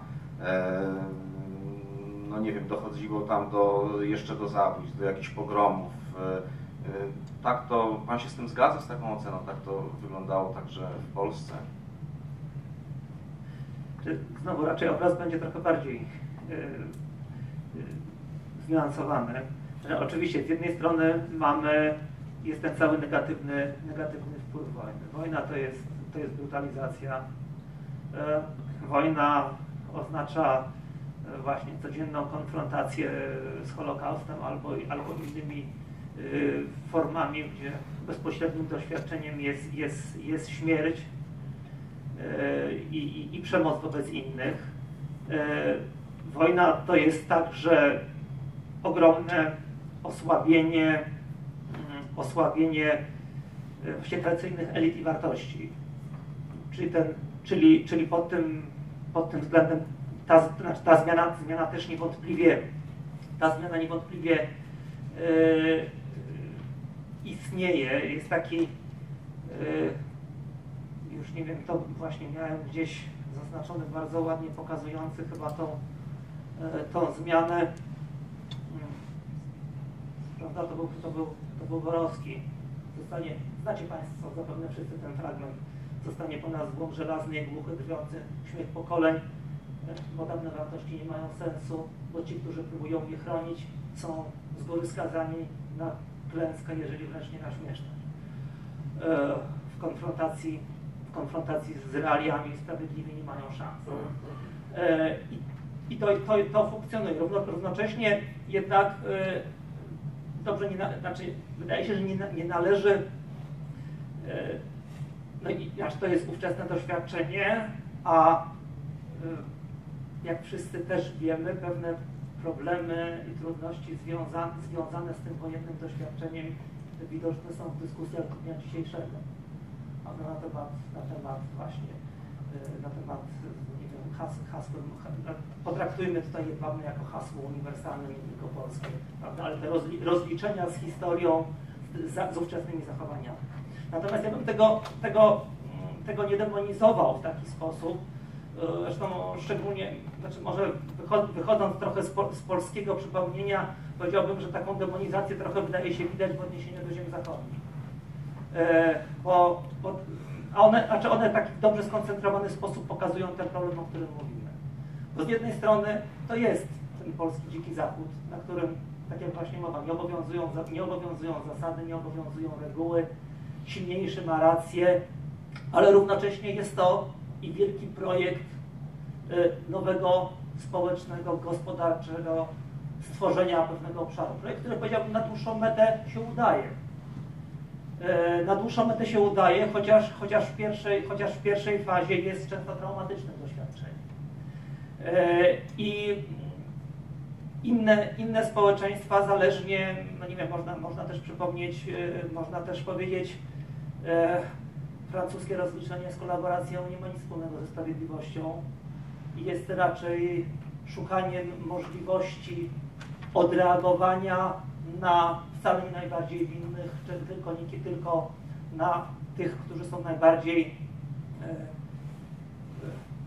najłatwiejszą ofiarą często. Jest też częścią wojny domowej. E, tak, i, tak i, i, zostaje włączony, jeszcze upolityczniony, jest, jest częścią wewnętrznego konfliktu. No, więc, e, więc oczywiście w tej pierwszej fazie następuje takie odreagowanie, jest, jest ten, ten brak norm.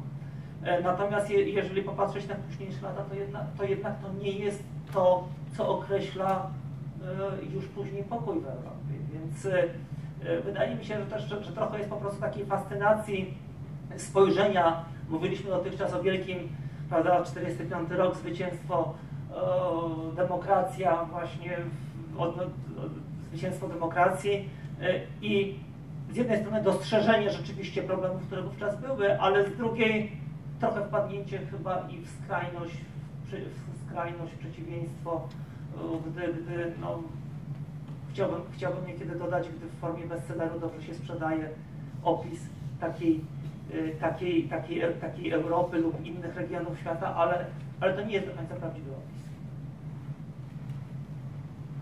Dziękuję bardzo. To mam pytanie w takim razie do e, profesora e, Zimmera, bo e, z tego co pamiętam z wprowadzenia, które zrobił profesor Fischer, to Niemcy nie do końca uznali, czy w dużej mierze nie uznali tego, co się stało w 1945 roku za wyzwolenie. No, a z drugiej strony po iluś tam latach Niemcy stali się najpierw jedną z głównych, teraz główną gospodarką, głównym państwem w Europie. Jak jak dokonała się taka przemiana, jak, jak, jak to możliwe, jak, jak nastąpiło to w głowach ludzi, w takiej psychice, że w pewnym momencie musiał nastąpić jakiś przeskok, no bo jeżeli na początku w ogóle uznaje to, że, że to, co się stało w 1945 roku, że to nie jest wyzwolenie, że to jest trauma, że to jest okupacja, że, że jak Pan czytał, ogromne straty, ogromne zniszczenia. A z drugiej strony, po iluś tam latach Niemcy są w tym miejscu, w którym, w którym są. Jak to możliwe? Jak patrzymy na e, przemówienia albo na artykuły prasowe e, lat 40., nawet 50. w Niemczech, to tylko można dziwić się, prawie wszyscy Niemcy byli ofiarami. E, I to można zrozumieć z tej sytuacji. Kraj jest zniszczony, dużo ludzi straciło najbliższych i tak dalej, ale w ogóle nie pytano o winie niemieckiej, co dzisiaj ma miejsce.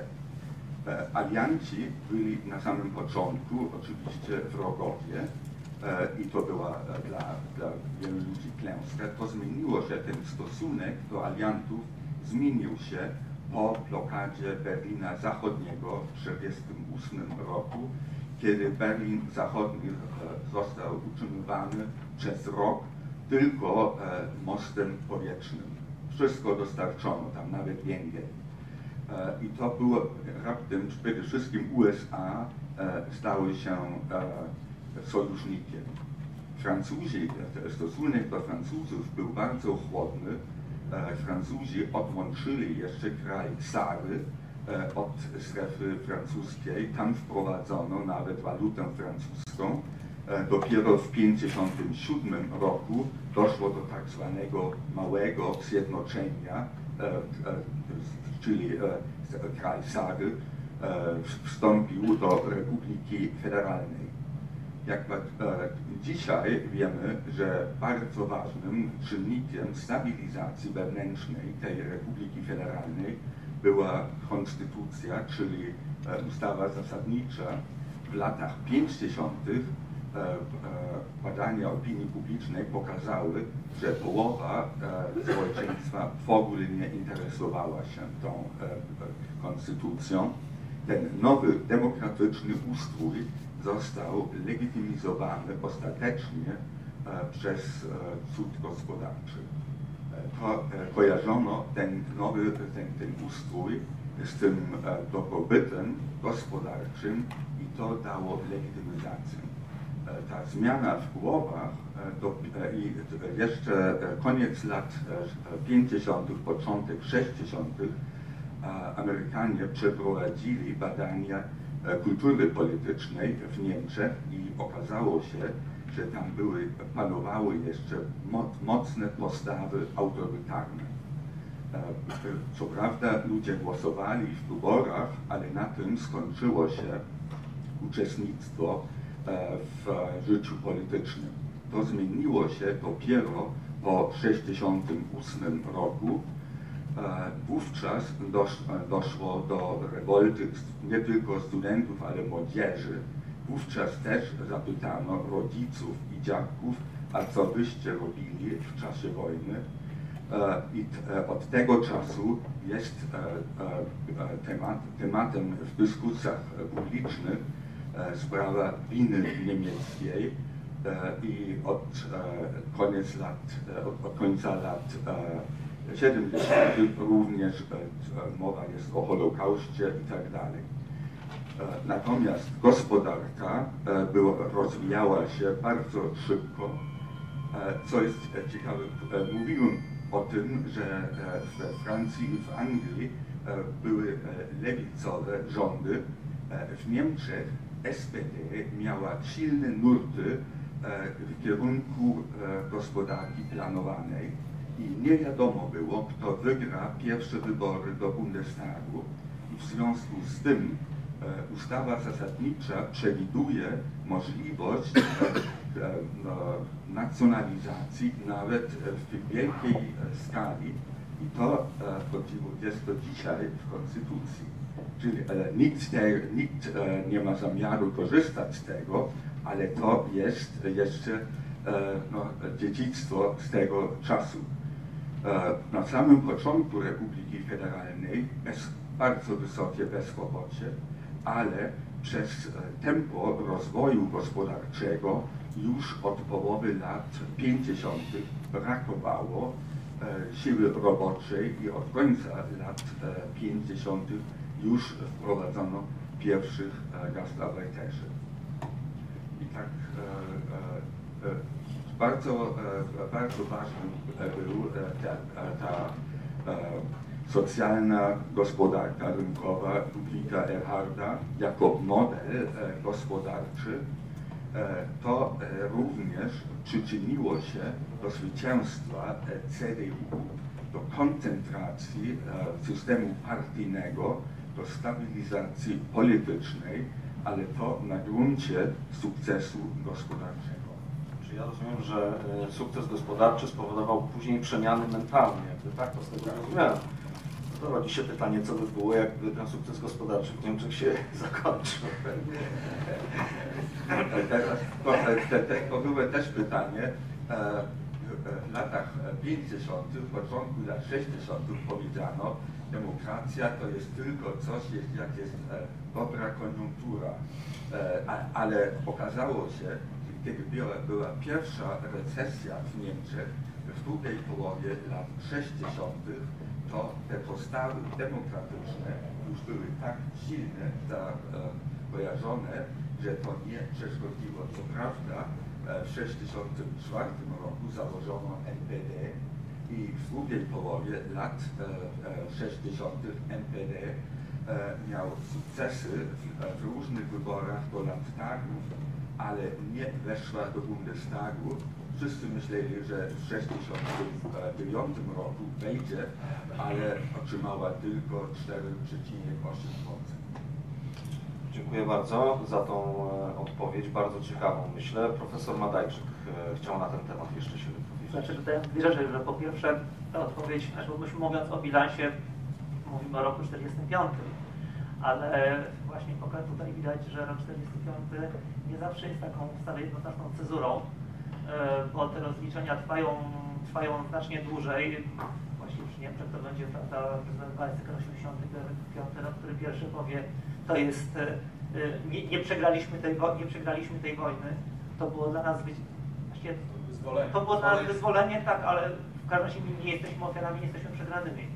Yy, Wiele, wiele z, właściwie, przy czym można jeszcze dodać, że europejska, znaczy nie, dyskusja wokół Niemiec jest i tak stosunkowo, stosunkowo e, łatwiejsza, bo jeżeli popatrzeć na, e, na japoński bilans, to w tym momencie w roku obecnym trwa nadal dyskusja, czy uda się dokonać właściwie czy uda się dokonać czegoś pod, podobnego jak w relacjach z Niemcami, czyli uda się dokonać pewnego bilansu, zakończenia e, e, rozliczeń z, i, z Koreą, i z Chinami, i, ta, i, i, i tak dalej. E, jest to staranne przygotowywanie kolejnego wystąpienia, które, nie wiem, chyba trwające już jakieś 3-4 lata w takim procesie próby dojścia do jakiegoś przełomu może, może, może wreszcie dokon, dokona, taki, może dokona takiego, takiego rozliczenia. E, więc, e, a, to, a to niewątpliwie e, w europejskiej perspektywie no, chyba jest to jeden z kluczowych, kluczowych momentów, jak wygrać pokój, czyli jak zakończyć, czyli jak zakończyć rozliczenia. A propos 8 maja, ja kiedyś zrobiłem to na seminarium w Niemczech.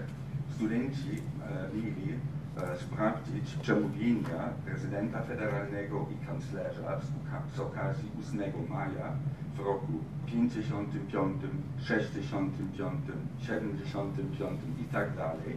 I okazało się, że ta ocena zmieniła się gwałtownie. W 1955 roku dla Adenauera 8 maja 1945 roku e, to czarny dzień w historii Niemiec, bo e, przegraliśmy wojnę i to był początek podziału kraju. Z rok, e, z, no, co 10 lat już inna intonacja i w 1985 roku 8 maja był dniem wyzwolenia, ale wówczas jeszcze bardzo mocno krytykowano to ze strony konserwatywnej. Był to, to nie wszyscy akceptowali od e, razu, tylko była burzliwa dyskusja. Dzisiaj przemówienie e, Weizsäckera znajduje się w podręcznikach szkolnych. To proszę jeszcze o zabranie głosu profesora Marcewicza też na temat tej drogi, jaką przeszły Niemcy, na temat tego, e, tego co się stało i czy tak się stać e, musiało może. Tak, może taka, proszę Państwa, refleksja na temat po pierwsze rozliczeń em, z dyktaturą narodowo-socjalistyczną, czy ze zbrodniami popełnionymi w czasie, w czasie II wojny światowej i także refleksja na temat naszej ideolo- ideologizacji tych procesów. Otóż mm, w polskim dyskursie publicznym funkcjonuje takie przekonanie, że Niemcy rozliczyły się w sposób modelowy, wzorcowy z czasów dyktatury narodowo-socjalistycznej, ze zbrodniami narodowo-socjalistycznymi i nam z kolei, Polakom, brakuje podobnie głębokiego rozliczenia ze zbrodniami komunistycznymi. Otóż w moim przekonaniu e, niemieckie rozliczenie powojenne czasami narodowego socjalizmu e, było dużo bardziej skomplikowane, e, niejednoznaczne niż dzisiaj my jesteśmy skłonni uznawać w Polsce, a nawet niekiedy e, w Europie. Otóż rzeczywiście po powstaniu państwa zachodnio-niemieckiego w 1949 roku nastąpiło jednoznaczne normatywne potępienie narodowego socjalizmu, ale jednocześnie niemal całkowita reintegracja elit narodowo-socjalistycznych w ramach państwa zachodnio-niemieckiego, instytucji gospodarczych, społecznych i e, to, co my niekiedy mamy skłonność uznawać za nie wiem, przejaw propagandy komunistycznej, która wskazywała, nie wiem, wysokich funkcjonariuszy SS, Gestapo kierowniczych stanowiskach, różnych stanowiskach w Republice Federalnej Niemiec, no niestety było e, jak najbardziej e, prawną historyczną. No, e, policja zachodnio-niemiecka była naszpikowana na, wysokich e, stanowiskach byłymi funkcjonariuszami Gestapo, e, najwyższej rangi sędziowie e, zachodnio-niemieccy, którzy często ubiegli orzekali wyroki śmierci e, w państwie narodowo-socjalistycznym. Można by było e, to wszystko kontynuować. E, tak naprawdę po tej fali rozliczeń sądowych prowadzonej, e, prowadzonych, prowadzonej przez aliantów jeszcze w warunkach okupacyjnych do 1949 roku, e, czy wymuszonych przez aliantów na ówczesnych władzach zachodnio-niemieckich, następuje niemal całkowite zaprzestanie rozliczeń. Powód do tego następuje dopiero właściwie pod koniec lat e, 50. Także wydaje mi się, że ta wzorcowa denazyfikacja, tak jak my jesteśmy skłonni z naszej perspektywy polskiej uważać, była dużo bardziej po pierwsze połowiczna, po drugie odbywała się w inny sposób niż my e, w takim globalnym spojrzeniu jesteśmy Natomiast warto jeszcze powiedzieć, że na tle tej bardzo ułomnej e, denazyfikacji czy rozliczeń niemałych, no rozliczenia austriackie były dużo jeszcze bardziej w tyle płytsze, połowiczne. E, Funkcjonował mit, mit Austrii jako pierwszej ofiary Hitlera i jakby no, niekiedy w wielu środowiskach do dzisiaj funkcjonuje. No ale ja rozumiem, że to było też skutkiem tego, że właśnie zapadła żelazna kurtyna, tak, i że nagle e, no, mocarstwa stanęły naprzeciw siebie i te problemy takie jak denazyfikacja no, nie, nie, nie, nie były ważne. Znaczy, tak to... denazyfikacji e, wymiaru sprawiedliwości w ogóle nie było. I to, było, to jest e, naj, naj, e, najcięższy e, błąd e, tu. W latach 50., e, co dzisiaj jest absolutnie niezrozumiałe dla nas, w latach 50. Bundestag, e, e, rząd federalny, kościoły nawet popierały prośby o amnestię zbrodniarzy wojennych do aliantów. Dzisiaj sądy niemieckie wsadziliby tych ludzi na do- dożywotnie. E, Wówczas proszono o amnestię. E, To, to była zupełnie inna e, świadomość i e, dopiero od końca lat 50. faktycznych, faktycznie ten proces w Ulm to był początek w ogóle też świadomości instytucji niemieckich, że tu było coś, że ten proces, o który tam chodziło, że to nie odosobniony przypadek, tylko że tam e, coś systematycznego e, miało miejsce i dopiero wówczas w 1958 roku założono tę instytucję, która w Ludwigsburgu, e, która jest niby prokuraturą, e, która śledzi te, zbrodnie wojenne z urzędu. Do tego procesu też nie doszłoby, gdyby nie były e, e, e szef policji w Kłajpedzie skarżył się, że on chce ponownie być zatrudniony w służbie państwowej i wówczas e, wyszło, co on zrobił, że e, on był e, w Einsatzgruppen w, w pograniczu niemiecko-litewskim. On i inni otrzymali długoletnie kary więzienne, ale to dla prokuratury wówczas był sygnał, że, tam, że to może nie jest odosobniony przypadek. I dopiero od tego czasu dużo, dużo za późno zaczęto e, badać e, bardziej systematycznie. I też e, trzeba powiedzieć, że nie wszystkie świadectwa i dokumenty, które przyszły z Polski na przykład, były przyjęte przez sądy i akceptowane, bo to są komunistyczne dokumenty. Jak, jak nie ma świadka niemieckiego dla tego czynu, to e, nie jest wiarygodne. Dzisiaj e, nie do zrozumienia, ale niestety e, przez to, że nie doszło do denazyfikacji w wymiarze sprawiedliwości, mieliśmy tych w latach 60. jeszcze sędziów, którzy mieli socjalizację nazistowską. Tylko można żałować. Rozmawialiśmy o e, teraz e, ten wątek niemiecki, o tym właściwie, no, że nie było e, denazyfikacji, przynajmniej na początku, że chociaż też ta ocena tego, co się stało, też nie była bardzo jednoznaczna. Chciałbym się zapytać o tą ocenę właśnie tego, co się stało, też czyli o wyzwolenie w Polsce. No bo tutaj też padały już takie słowa, profesor Marcewicz chyba powiedział, że no jedna okupacja zamieniana na drugą, to się taki wątek też się oczywiście pojawia. Na ile ta społecznie była akceptowalna ta E, nowa rzeczywistość dla Polski, dla e, mieszkańców e, Europy Środkowo-Wschodniej, no, których los tutaj akurat był wspólny. Może profesor Modajczyk. Dobrze, ale ja nie wiem na ile była akceptowana. Znaczy wiem, że wiem, że w trakcie, że w trakcie wojny widoczna właśnie jest ten proces demokratyzacji, jest, ten, jest a właściwie wszyscy historycy piszący o okresie wojny dość zgodnie piszą o rosnącym y, zrozumieniu dla konieczności dokonania zmian. To nie może być ten system, który był wcześniej, wcześniej on musi być inny, lepszy, sprawiedliwy, bardziej, bardziej sprawiedliwy niż, y, niż przed wojną. I, i, i ten, ten mechanizm, to, to, jest, to jest widoczne. A skąd się brał ten mechanizm właśnie potrzeby zmian? Znaczy, co było spowodowane przekonaniem, że musi nastąpić zmiana, że nie może być tak, jak było przed wojną?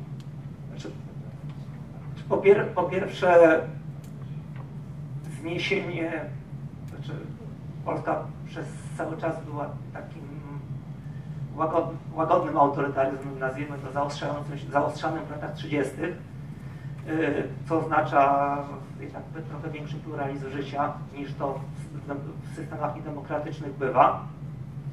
Y, ale chyba wojna, wojna to jest doświadczenie też wspólnoty narodowej, pewnej solidarności w ramach wspólnoty. E, oczywiście doświadczenie też i trochę niebezpieczne, bo ono wyklucza ich niektórych, ale, ale to jednak wydaje się, że to jest ten, ten główny mechanizm. Czyli po pierwsze uruchamiają się możliwości politycznego działania, bo nie ma już przedwojennego systemu to ograniczającego. Po drugie jest poczucie, jesteśmy, jesteśmy jednością, wspólnotą, która musi, która musi się wzajemnie wspierać, wspólnie występować w obliczu zagrożenia. E, to jest, to jest chyba ten, ten, ten mechanizm, no, można też chyba jeszcze dodać dostrzeganie niedoskonałości tego, tego co, było, co, było, co było przed wojną.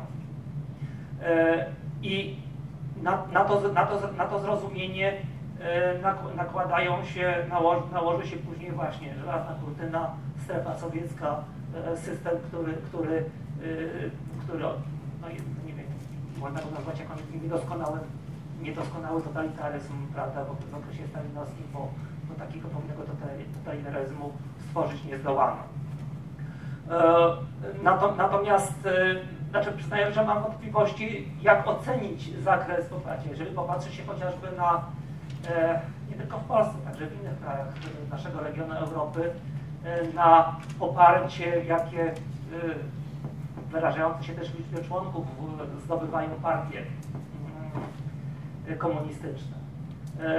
Umiejętnie łącząc pewną retorykę socjalną, konieczność, konieczność reform, z, też z retoryką narodowościową, bo to też jest wspólnie, to bardzo ładnie w Czechosłowacji widać, e, im rzeczywiście udaje się mobilizować istotne poparcie. E, mamy, jest, z jednej strony są, są, grup, są grupy społeczne wyrzucane na margines, e, prześladowane, z drugiej są takie, które są rozentuzjazmowane, młodzi ludzie rozentuzjazmowani tym, że będziemy budowali nowy, lepszy świat sondaży nikt wówczas nie przeprowadza. E, I to jeszcze reprezentatywnych sondaży, e, żeby, żeby, żeby zapytać e, o, o to, jak, jak oceniasz w, tym, w latach, w późniejszych latach, w, później, w późniejszych latach już widać, tylko w późniejszych latach mamy też taki, w późniejszych latach, szczególnie, znaczy od, w końcu lat 60., rok 68 mamy dekompozycję systemu komunistycznego pod względem ideologicznym, on traci swoją atrakcyjność po Czechosłowacji i tak, i, i, i tak dalej. E, od lat 70. mamy szczególnie rosnący, rosnącą nieatrakcyjność ekonomiczną. Tośmy trochę mówili o ten związek e, ekonomiczna atrakcyjność demokracji. E, od lat 70. widać, że demokracja jest bardziej efektywna, atrakcyjna, ciekawsza. I w latach 80. to już jest wyraźne przesunięcie w, stron, w stronę, w stronę słabnącej legitymizacji, słabnącego poparcia. Natomiast, natomiast ja bym się nie odważył, bo mogliśmy od lat 50., 60. mówić, jakie, jakie jest realne poparcie jego brak. To proponuję to odpowiedź na to samo pytanie profesora Marcewicz. Bardzo jest trudno wskazywać jakieś bardziej konkretne szacunki w sytuacji, gdy nie prowadzono jakichkolwiek wiarygodnych badań publicznej i w sytuacji nie było oczywiście demokratycznych wyborów, ale no możemy pokusić się o pewne e, przybliżenia. Zacząłbym od tego, że sami komuniści w roku 1944-1945, polscy komuniści, ale także Stalin, mają świadomość, że ta władza e, ma bardzo słabe zakorzenienie społeczne. Jest słaba, nie słaba w sensie oczywiście słabości militarnej czy struktury bezpieczeństwa, ale w sensie poparcia społecznego i że to poparcie społeczne musi być stopniowo budowane. No temu służy chociażby reforma rolna, która warto pamiętać była w programie wszystkich najważniejszych ugrupowań politycznych tworzących polskie państwo podziemne czy rząd emigracyjny, za wyjątkiem stronnictwa narodowego. Także e, no, przekonanie, że Polska musi doświadczyć skoku, e, znaczy doświadczyć industrializacji, poprzez etatyzację, silną rolę państwa, niezależnie od wszelkich różnic pomiędzy programami partii politycznych, no to było przekonanie, że państwo musi być akuszerem rozwoju, modernizacji, industrializacji. Komuniści to w pewien sposób przynosili, to stopniowo budowało, rozszerzało poparcie społeczne, a taki rzeczywisty opór był oczywiście niszczony, dławiony poprzez terror. Moim zdaniem mamy jedno tylko w miarę precyzyjne, takie liczbowe przybliżenie, jeśli chodzi o poparcie dla e, Polskiej Partii Robotniczej w latach 40. Otóż e, profesor Paczkowski wiele lat temu odnalazł jako pierwszy polski historyk dokumenty pokazujące bardzo precyzyjnie, jak fałszowano referendum ludowe e, z czerwca 1946 roku. I otóż z tych danych wynika, że trzy razy tak na te pytania postawione przez komunistów odpowiedziało około 26%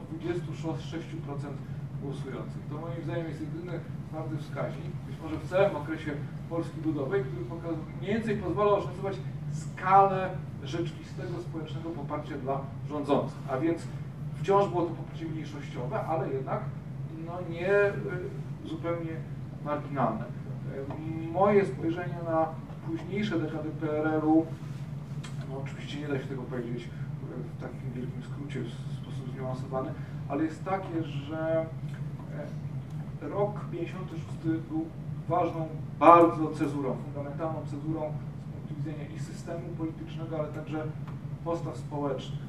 Otóż z jednej strony w roku 56 mamy do czynienia z masowym, żywiołowym, oddolnym odrzuceniem stalinizmu, do pewnego stopnia komunizmu, ale jednocześnie w konsekwencji polskiego października, w konsekwencji powrotu do władzy Gomułki, przeciwstawienia się przez polskich komunistów Chruszczowowi, e, dyktatowi Kremla, mamy przecież de facto interwencję radziecką, która się rozpoczęła, radzieckie czołgi szły na Warszawę, polscy komuniści się, się przeciwstawiali Chruszczowowi. Moim zdaniem dochodzi do czegoś, co ja nazwałem w książce o 1956 roku internalizacją komunizmu, czyli e, to nie oznaczało pełnego poparcia dla komunizmu, nie oznaczało wyrzeczenia się tęsknot za, nie wiem, wolnością polityczną, ale to był moment zwrotny, od którego duża część Polaków, być może większość Polaków, patrzyła ten system jako dyktaturę, ale jednak nie tylko narzuconą, ale mającą realne korzenie e, społeczne. I, a potem, jakby późniejszy okres już jest jakby zbyt skomplikowany, żeby w takiej jednej formule to określić, wyczerpuje się ten potencjał modernizacyjny, wyczerpują się mechanizmy wzrostu, ten system zaczyna być odrzucany także dlatego, że nie spełnia swoich własnych obietnic. Panowie, nasz e, czas powoli się kończy. Ja chciałem, żebyśmy na koniec poruszyli jeszcze jeden e, ważny, moim zdaniem, bardzo ciekawy wątek, który tu się jakoś tam przewija, ale marginalnie. To znaczy sprawa e, wypędzeń, przesiedleń, no jednak zakończenie II wojny światowej to tak jak powiedział chyba profesor Madajczyk, to jest też czas takiej ogromnej wędrówki ludów, chyba największej w nowożytnej Europie. No i z tego, co mówił profesor Madajczyk, to ja, ja tak przynajmniej to zrozumiałem, trywializując, że wyszliśmy na tym nie najgorzej. To znaczy, że te ziemie zachodnie to jednak e, miejsce no, zupełnie in, innego rozwoju cywilizacyjnego. Ja chciałbym Was zapytać o, o jakby o bilans tego, o bilans tych wyświetleń, o ocenę dzisiaj, z dzisiejszej perspektywy tego, co się wtedy stało. Wiadomo, że to jest temat też bardzo żywy i gorący w Niemczech, ale też w stosunkach polsko-niemieckich. Może profesor Madajczyk na początku.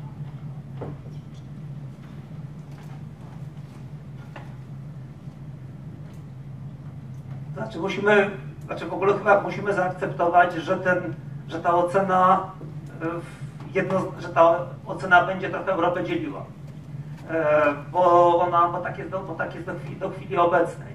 E, Polska w polskiej perspektywie, e, w, w czeskiej perspektywie będzie to tworzenie stabilności, stabilnych państw i takich i tego, o czym mówiłem. W niemieckiej perspektywie do dnia dzisiejszego pojawia się określenie bezpra bez, bezprawie i niesprawiedliwość. I, I tutaj właściwie za, do dnia dzisiejszego zachowujemy, zachowujemy i chyba tak będzie to wyglądało przez kolejne lata. Dziękuję bardzo. To w takim razie może pan profesor, proszę bardzo, z niemieckiej perspektywy z niemieckiej perspektywy przez dziesięciolecia e, to było faktycznie widziane jako niesprawiedliwość. E, organizacje wypędzonych e, patrzyły na to i one, one przede wszystkim dominowały tu, jeśli chodzi o opinię publiczną, ale trzeba również powiedzieć, że dla tych organizacji druga wojna światowa zaczęła się w roku 1944, kiedy zbliżał się front wschodni, nie pytano o tym, co było od roku 1939. Przełom w tym patrzeniu na te sprawy to był rok 65 e, Kościoła. E, z jednej strony, i to dla niemieckiej strony było ważniejsze, to było to memorandum wschodnie Kościoła Ewangelickiego, E, gdzie pytano nie tylko o sytuacji wypędzonych, lub po raz pierwszy też powiedziano, że w dawnych terenach niemieckich mieszka teraz nowe pokolenie, dla którego e, te tereny też są małą ojczyzną i mają prawo do tego. Burzliwa dyskusja wówczas, ale od tego momentu to patrzono trochę inaczej na tę granicę i to widać e, w badaniach opinii publicznej, akceptacja wzrosła e, gwałtownie tej e, granicy. Patrząc wstecz dzisiaj, można powiedzieć, że ci ludzie, którzy przy, przyjechali do Niemiec powojennych, nic nie mieli, tylko swoje umiejętności i wolę odbudowy i oni przyczynili się prawdopodobnie ponadprzeciętnie do odbudowy gospodarczej i do cudu gospodarczego, bo oni musieli wszystko od nowa. Dziękuję i profesor e, Machcewicz. Ja bym zaproponował, żeby na powojenne przesiedlenia ludności nie patrzeć w oderwaniu od tego, co się działo właściwie od pierwszych dni wojny. I myślę, że się taki błąd popełnia zwłaszcza w Niemczech, że ten dyskurs dotyczący przesiedleń, on jakby się zaczyna od końca wojny, od 1945 roku. Natomiast moim zdaniem warto widzieć pewną ciągłość, fundamentalną ciągłość. Niemcy rozpoczynają przesiedlenia Polaków właściwie od jesieni 1939 roku. Z Gdyni, z Pomorza, z Wielkopolski, także przesiedlenia Żydów, jeszcze zanim jakby rozpoczyna się faza polityki ludobójczej. Stalin rozpoczyna przesiedlenia Polaków od początku 40 roku, ale wkrótce potem przesiedlenia innych narodów. Także ta inżynieria społeczna na wielką skalę, przekonanie, że można zmieniać nie tylko granice, ale także skład społeczny, demograficzny, narodowościowy wielkich obszarów, y, to się wywodzi z czasów wojny. I to zostało podjęte przez aliantów w roku 1945 y, Poczdamie. Moim zdaniem nie byłoby decyzji o przesiedlaniu milionów Niemców, gdyby nie wcześniejsze przesiedlenia wielkich mas ludzi realizowane przez III Rzeszę i przez e, Związek Radziecki. Oczywiście no, nadal istnieje spór o to, na ile powojenne przesiedlenia Niemców były przede wszystkim konsekwencją II wojny światowej, a na ile były, tak jak e, w Niemczech chyba wciąż przeważa takie spojrzenie, jakby rezultatem dążenia przez Polaków, przez Czechów do tworzenia państw jednolitych narodowościowych. To jest trochę jakby inne rozłożenie akcentów na przykład między obrazem wojny i jej konsekwencji tworzonym przez Muzeum II wojny światowej, który powstaje w Gdańsku i jeżeli dobrze rozumiem, obrazem, który tworzy tego najwidoczny znak, znaczy Muzeum Przesiedleń, które ma powstać w Berlinie. Dyskutowaliśmy na ten temat w Gdańsku niedawno. Mieliśmy spotkanie z Radą Programową Widocznego Znaku. Dziękuję bardzo za te odpowiedzi. Moment kulminacyjny naszego panelu, czyli pytania od Państwa. Tak mi się przynajmniej wydaje, że to moment kulminacyjny. Zachęcam do zadawania pytań naszym rozmówcom. Jak rozumiem, jest tam jakiś mikrofon na sali. A proszę, tutaj Pan był pierwszy. Proszę bardzo.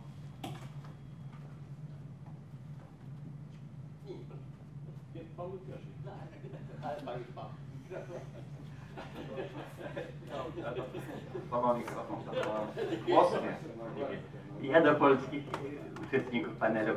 Czy panowie mogliby ocenić, czy przyjazd Mikołajczyka, utworzenie rządu jedności narodowej miał jakiś wpływ na tę stabilizację gospodarczą, rozwój na w tych latach do 1947 roku, o których panowie mówili pozytywnie, jest również na przykładzie mm, krajów europejskich w tym okresie, które nie rozwijały się tak dynamicznie. Ja to pamiętam, jeszcze w tym czasie w niemieckiej, w Niemczech Wschodnich, później powstała tam NRD, mówiono o, o warszawskim tempie przy odbudowie Warszawy na przykład i dawano na przykład to Niemcom Wschodnim.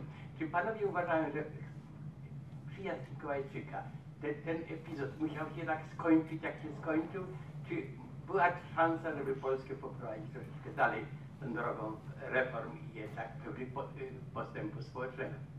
Dziękuję. I kolejne pytanie. Tutaj Pan chyba się zgłasza, prawda?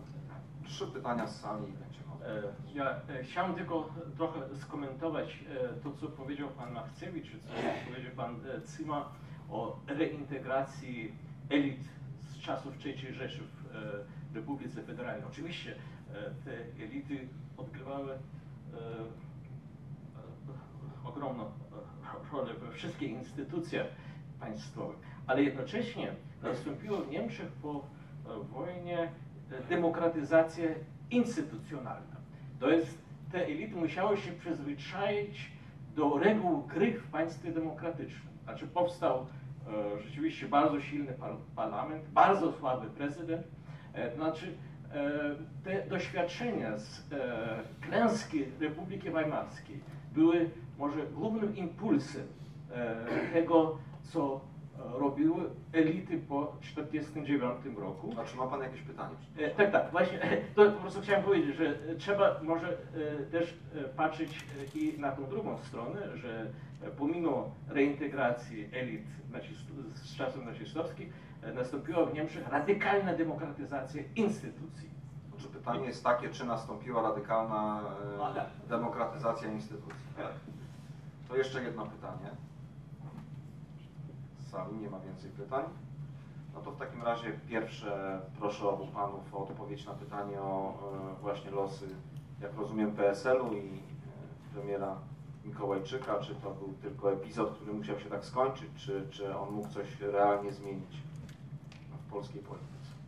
Patrząc na to, co działo, na późniejszą politykę Moskwy, y, na to, że no właśnie chociażby Czechosłowacji daje się tylko pewien czas przyzwyczajenie się y, do, do nowej sytuacji, żeby później, później wprowadzić, wprowadzić, ujednolicić ją w ramach bloku, y, musiał, musiał to być tylko, y, tylko epizod. Natomiast chyba rzeczywiście pytanie jest o tyle, o, ty, o tyle mm, dobrze pokazuje e, wpływ, e, że, że powód Mikołajczyka niewątpliwie prze, przekładał się na nastroje. E, No bo wówczas nikt nie myślał o tym, co, będzie, co będzie o roku 48, tylko to jest, to jest jednak większa, większa podmiotowość, to jednak, jednak od, inna legitymizacja, to, to znaczy, że jeżeli chodzi o tą właśnie mobilizację, mobilizację energii, zaangażowania do odbudowy, yy, znowu trudno wymierne, ale, ale właściwie jestem pewien, że to, że to wpływ musiało, że to wpływ na pewno miało pozytywny. Tak, tak, tak, bo to jest też, też właśnie angażowanie y, części tych przedwojennych elit y, aktywnych. To, to, się na pewno, to się na pewno przekłada na to, na to przekonanie, razem wspólnie będziemy teraz odbudowywać. E, I tylko, i tylko zupełnie, zupełnie króciutko. E, Oczywi, oczywiście ta odbudowa instytucjonalna, e, znaczy demokratyzacja instytucjonalna, znaczy jest, tak, jest taka ciekawa, ciekawa dwutorowość, bo z jednej strony jest rzeczywiście przyzwyczajenie, na- narzucenie pewnych rozwiązań instytucjonalnych, wprowadzanie od początku przyzwyczajanie, a z drugiej strony jest ten bardzo wolny proces zmiany kultury politycznej. O ile pamiętam, e, ostatnie wyroki dotyczące dezerterów z Wehrmachtu to jest początek XXI wieku, prawda? E, to jest, wtedy się kończy ten proces. Ostatnie wyroki, to chyba 2034 rok, coś takiego zostają dziewiąty, jest, dziękuję za pamięć. Czyli, czyli jeszcze, prawda, czyli widać jak, widać jak długotrwały proces jest to w tym drugim, na tej drugiej płaszczyźnie. Profesor Marcewicz, krótko proszę.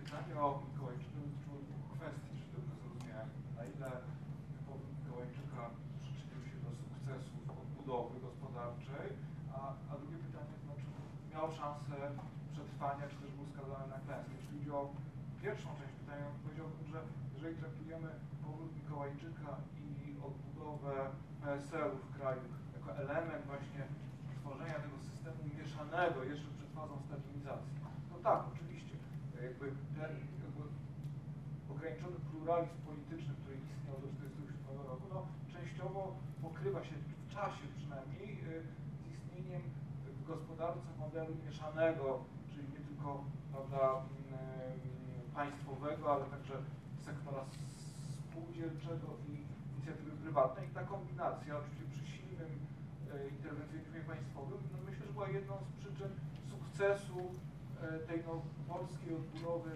gospodarczej, która jest uznawana w tamtym okresie za szybką. E, Szybszą być może jak widzieliśmy niż w Europie Zachodniej. A pytanie o to, czy Mikołajczyk był skazany na klęskę. No, okazało się, że tak, że mimo, że stworzył masową partię polityczną z niemal milionem członków, to, to się okazało niewystarczającą siłą dla powstrzymania komunistów, ale powiedziałbym w ten sposób, że to była próba konieczna. Gdyby ta próba nie została podjęta przez Mikołajczyka, gdyby nie zdecydował na powrót z emigracji do Polski, został zresztą potępiony przez ogromną większość ugrupowań emigracyjnych, to do dzisiaj byśmy się zastanawiali, czy to nie była utracona szansa, czy przy jakby e, silnym poparciu w kraju dla polityków niekomunistycznych, przy niechęci e, wobec komunistów masowej, czy nie istniała szansa na powstrzymanie sowietyzacji, stworzenie jakiegoś odrębnego modelu polskiego? Okazuje się, że nie istniała, ale mogliśmy się o tym przekonać dopiero po tym, gdy taka próba została podjęta i zakończyła się klęską.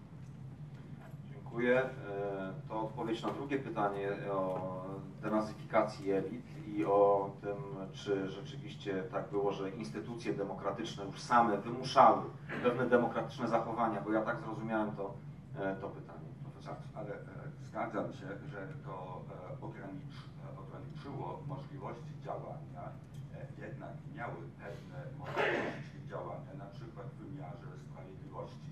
E, to jest e, możliwe.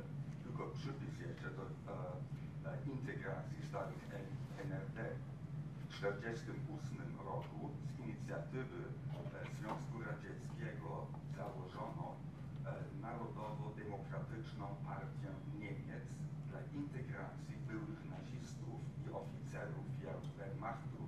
Ta partia istniała do końca NRD. E, I można by e, też do, e, pokazać e, kontynuację elit we Francji z Vichy do piątej e, republiki.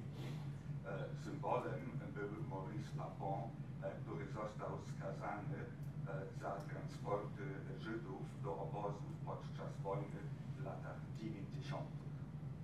E, Wówczas doszło tam we Francji, od lat 70. e, zaczęło się rozliczenie się z reżimem Vichy we Francji. To trwa do dzisiaj. Jak rozumiem, Pan jest usatysfakcjonowany odpowiedzią. Czas e, kończyć e, nasz panel. To oczywiście nie czas, nie koniec naszej dyskusji, bo drugi panel wygrani i przegrani wojny już e, za chwilę. Przypomnę jeszcze tylko, że naszymi gośćmi byli paneliści profesor Paweł Machcewicz, profesor Piotr Madajczyk e, i profesor Klaus Zimmer. Ja bardzo Panom dziękuję, dziękuję Państwu i zapraszam na kawę.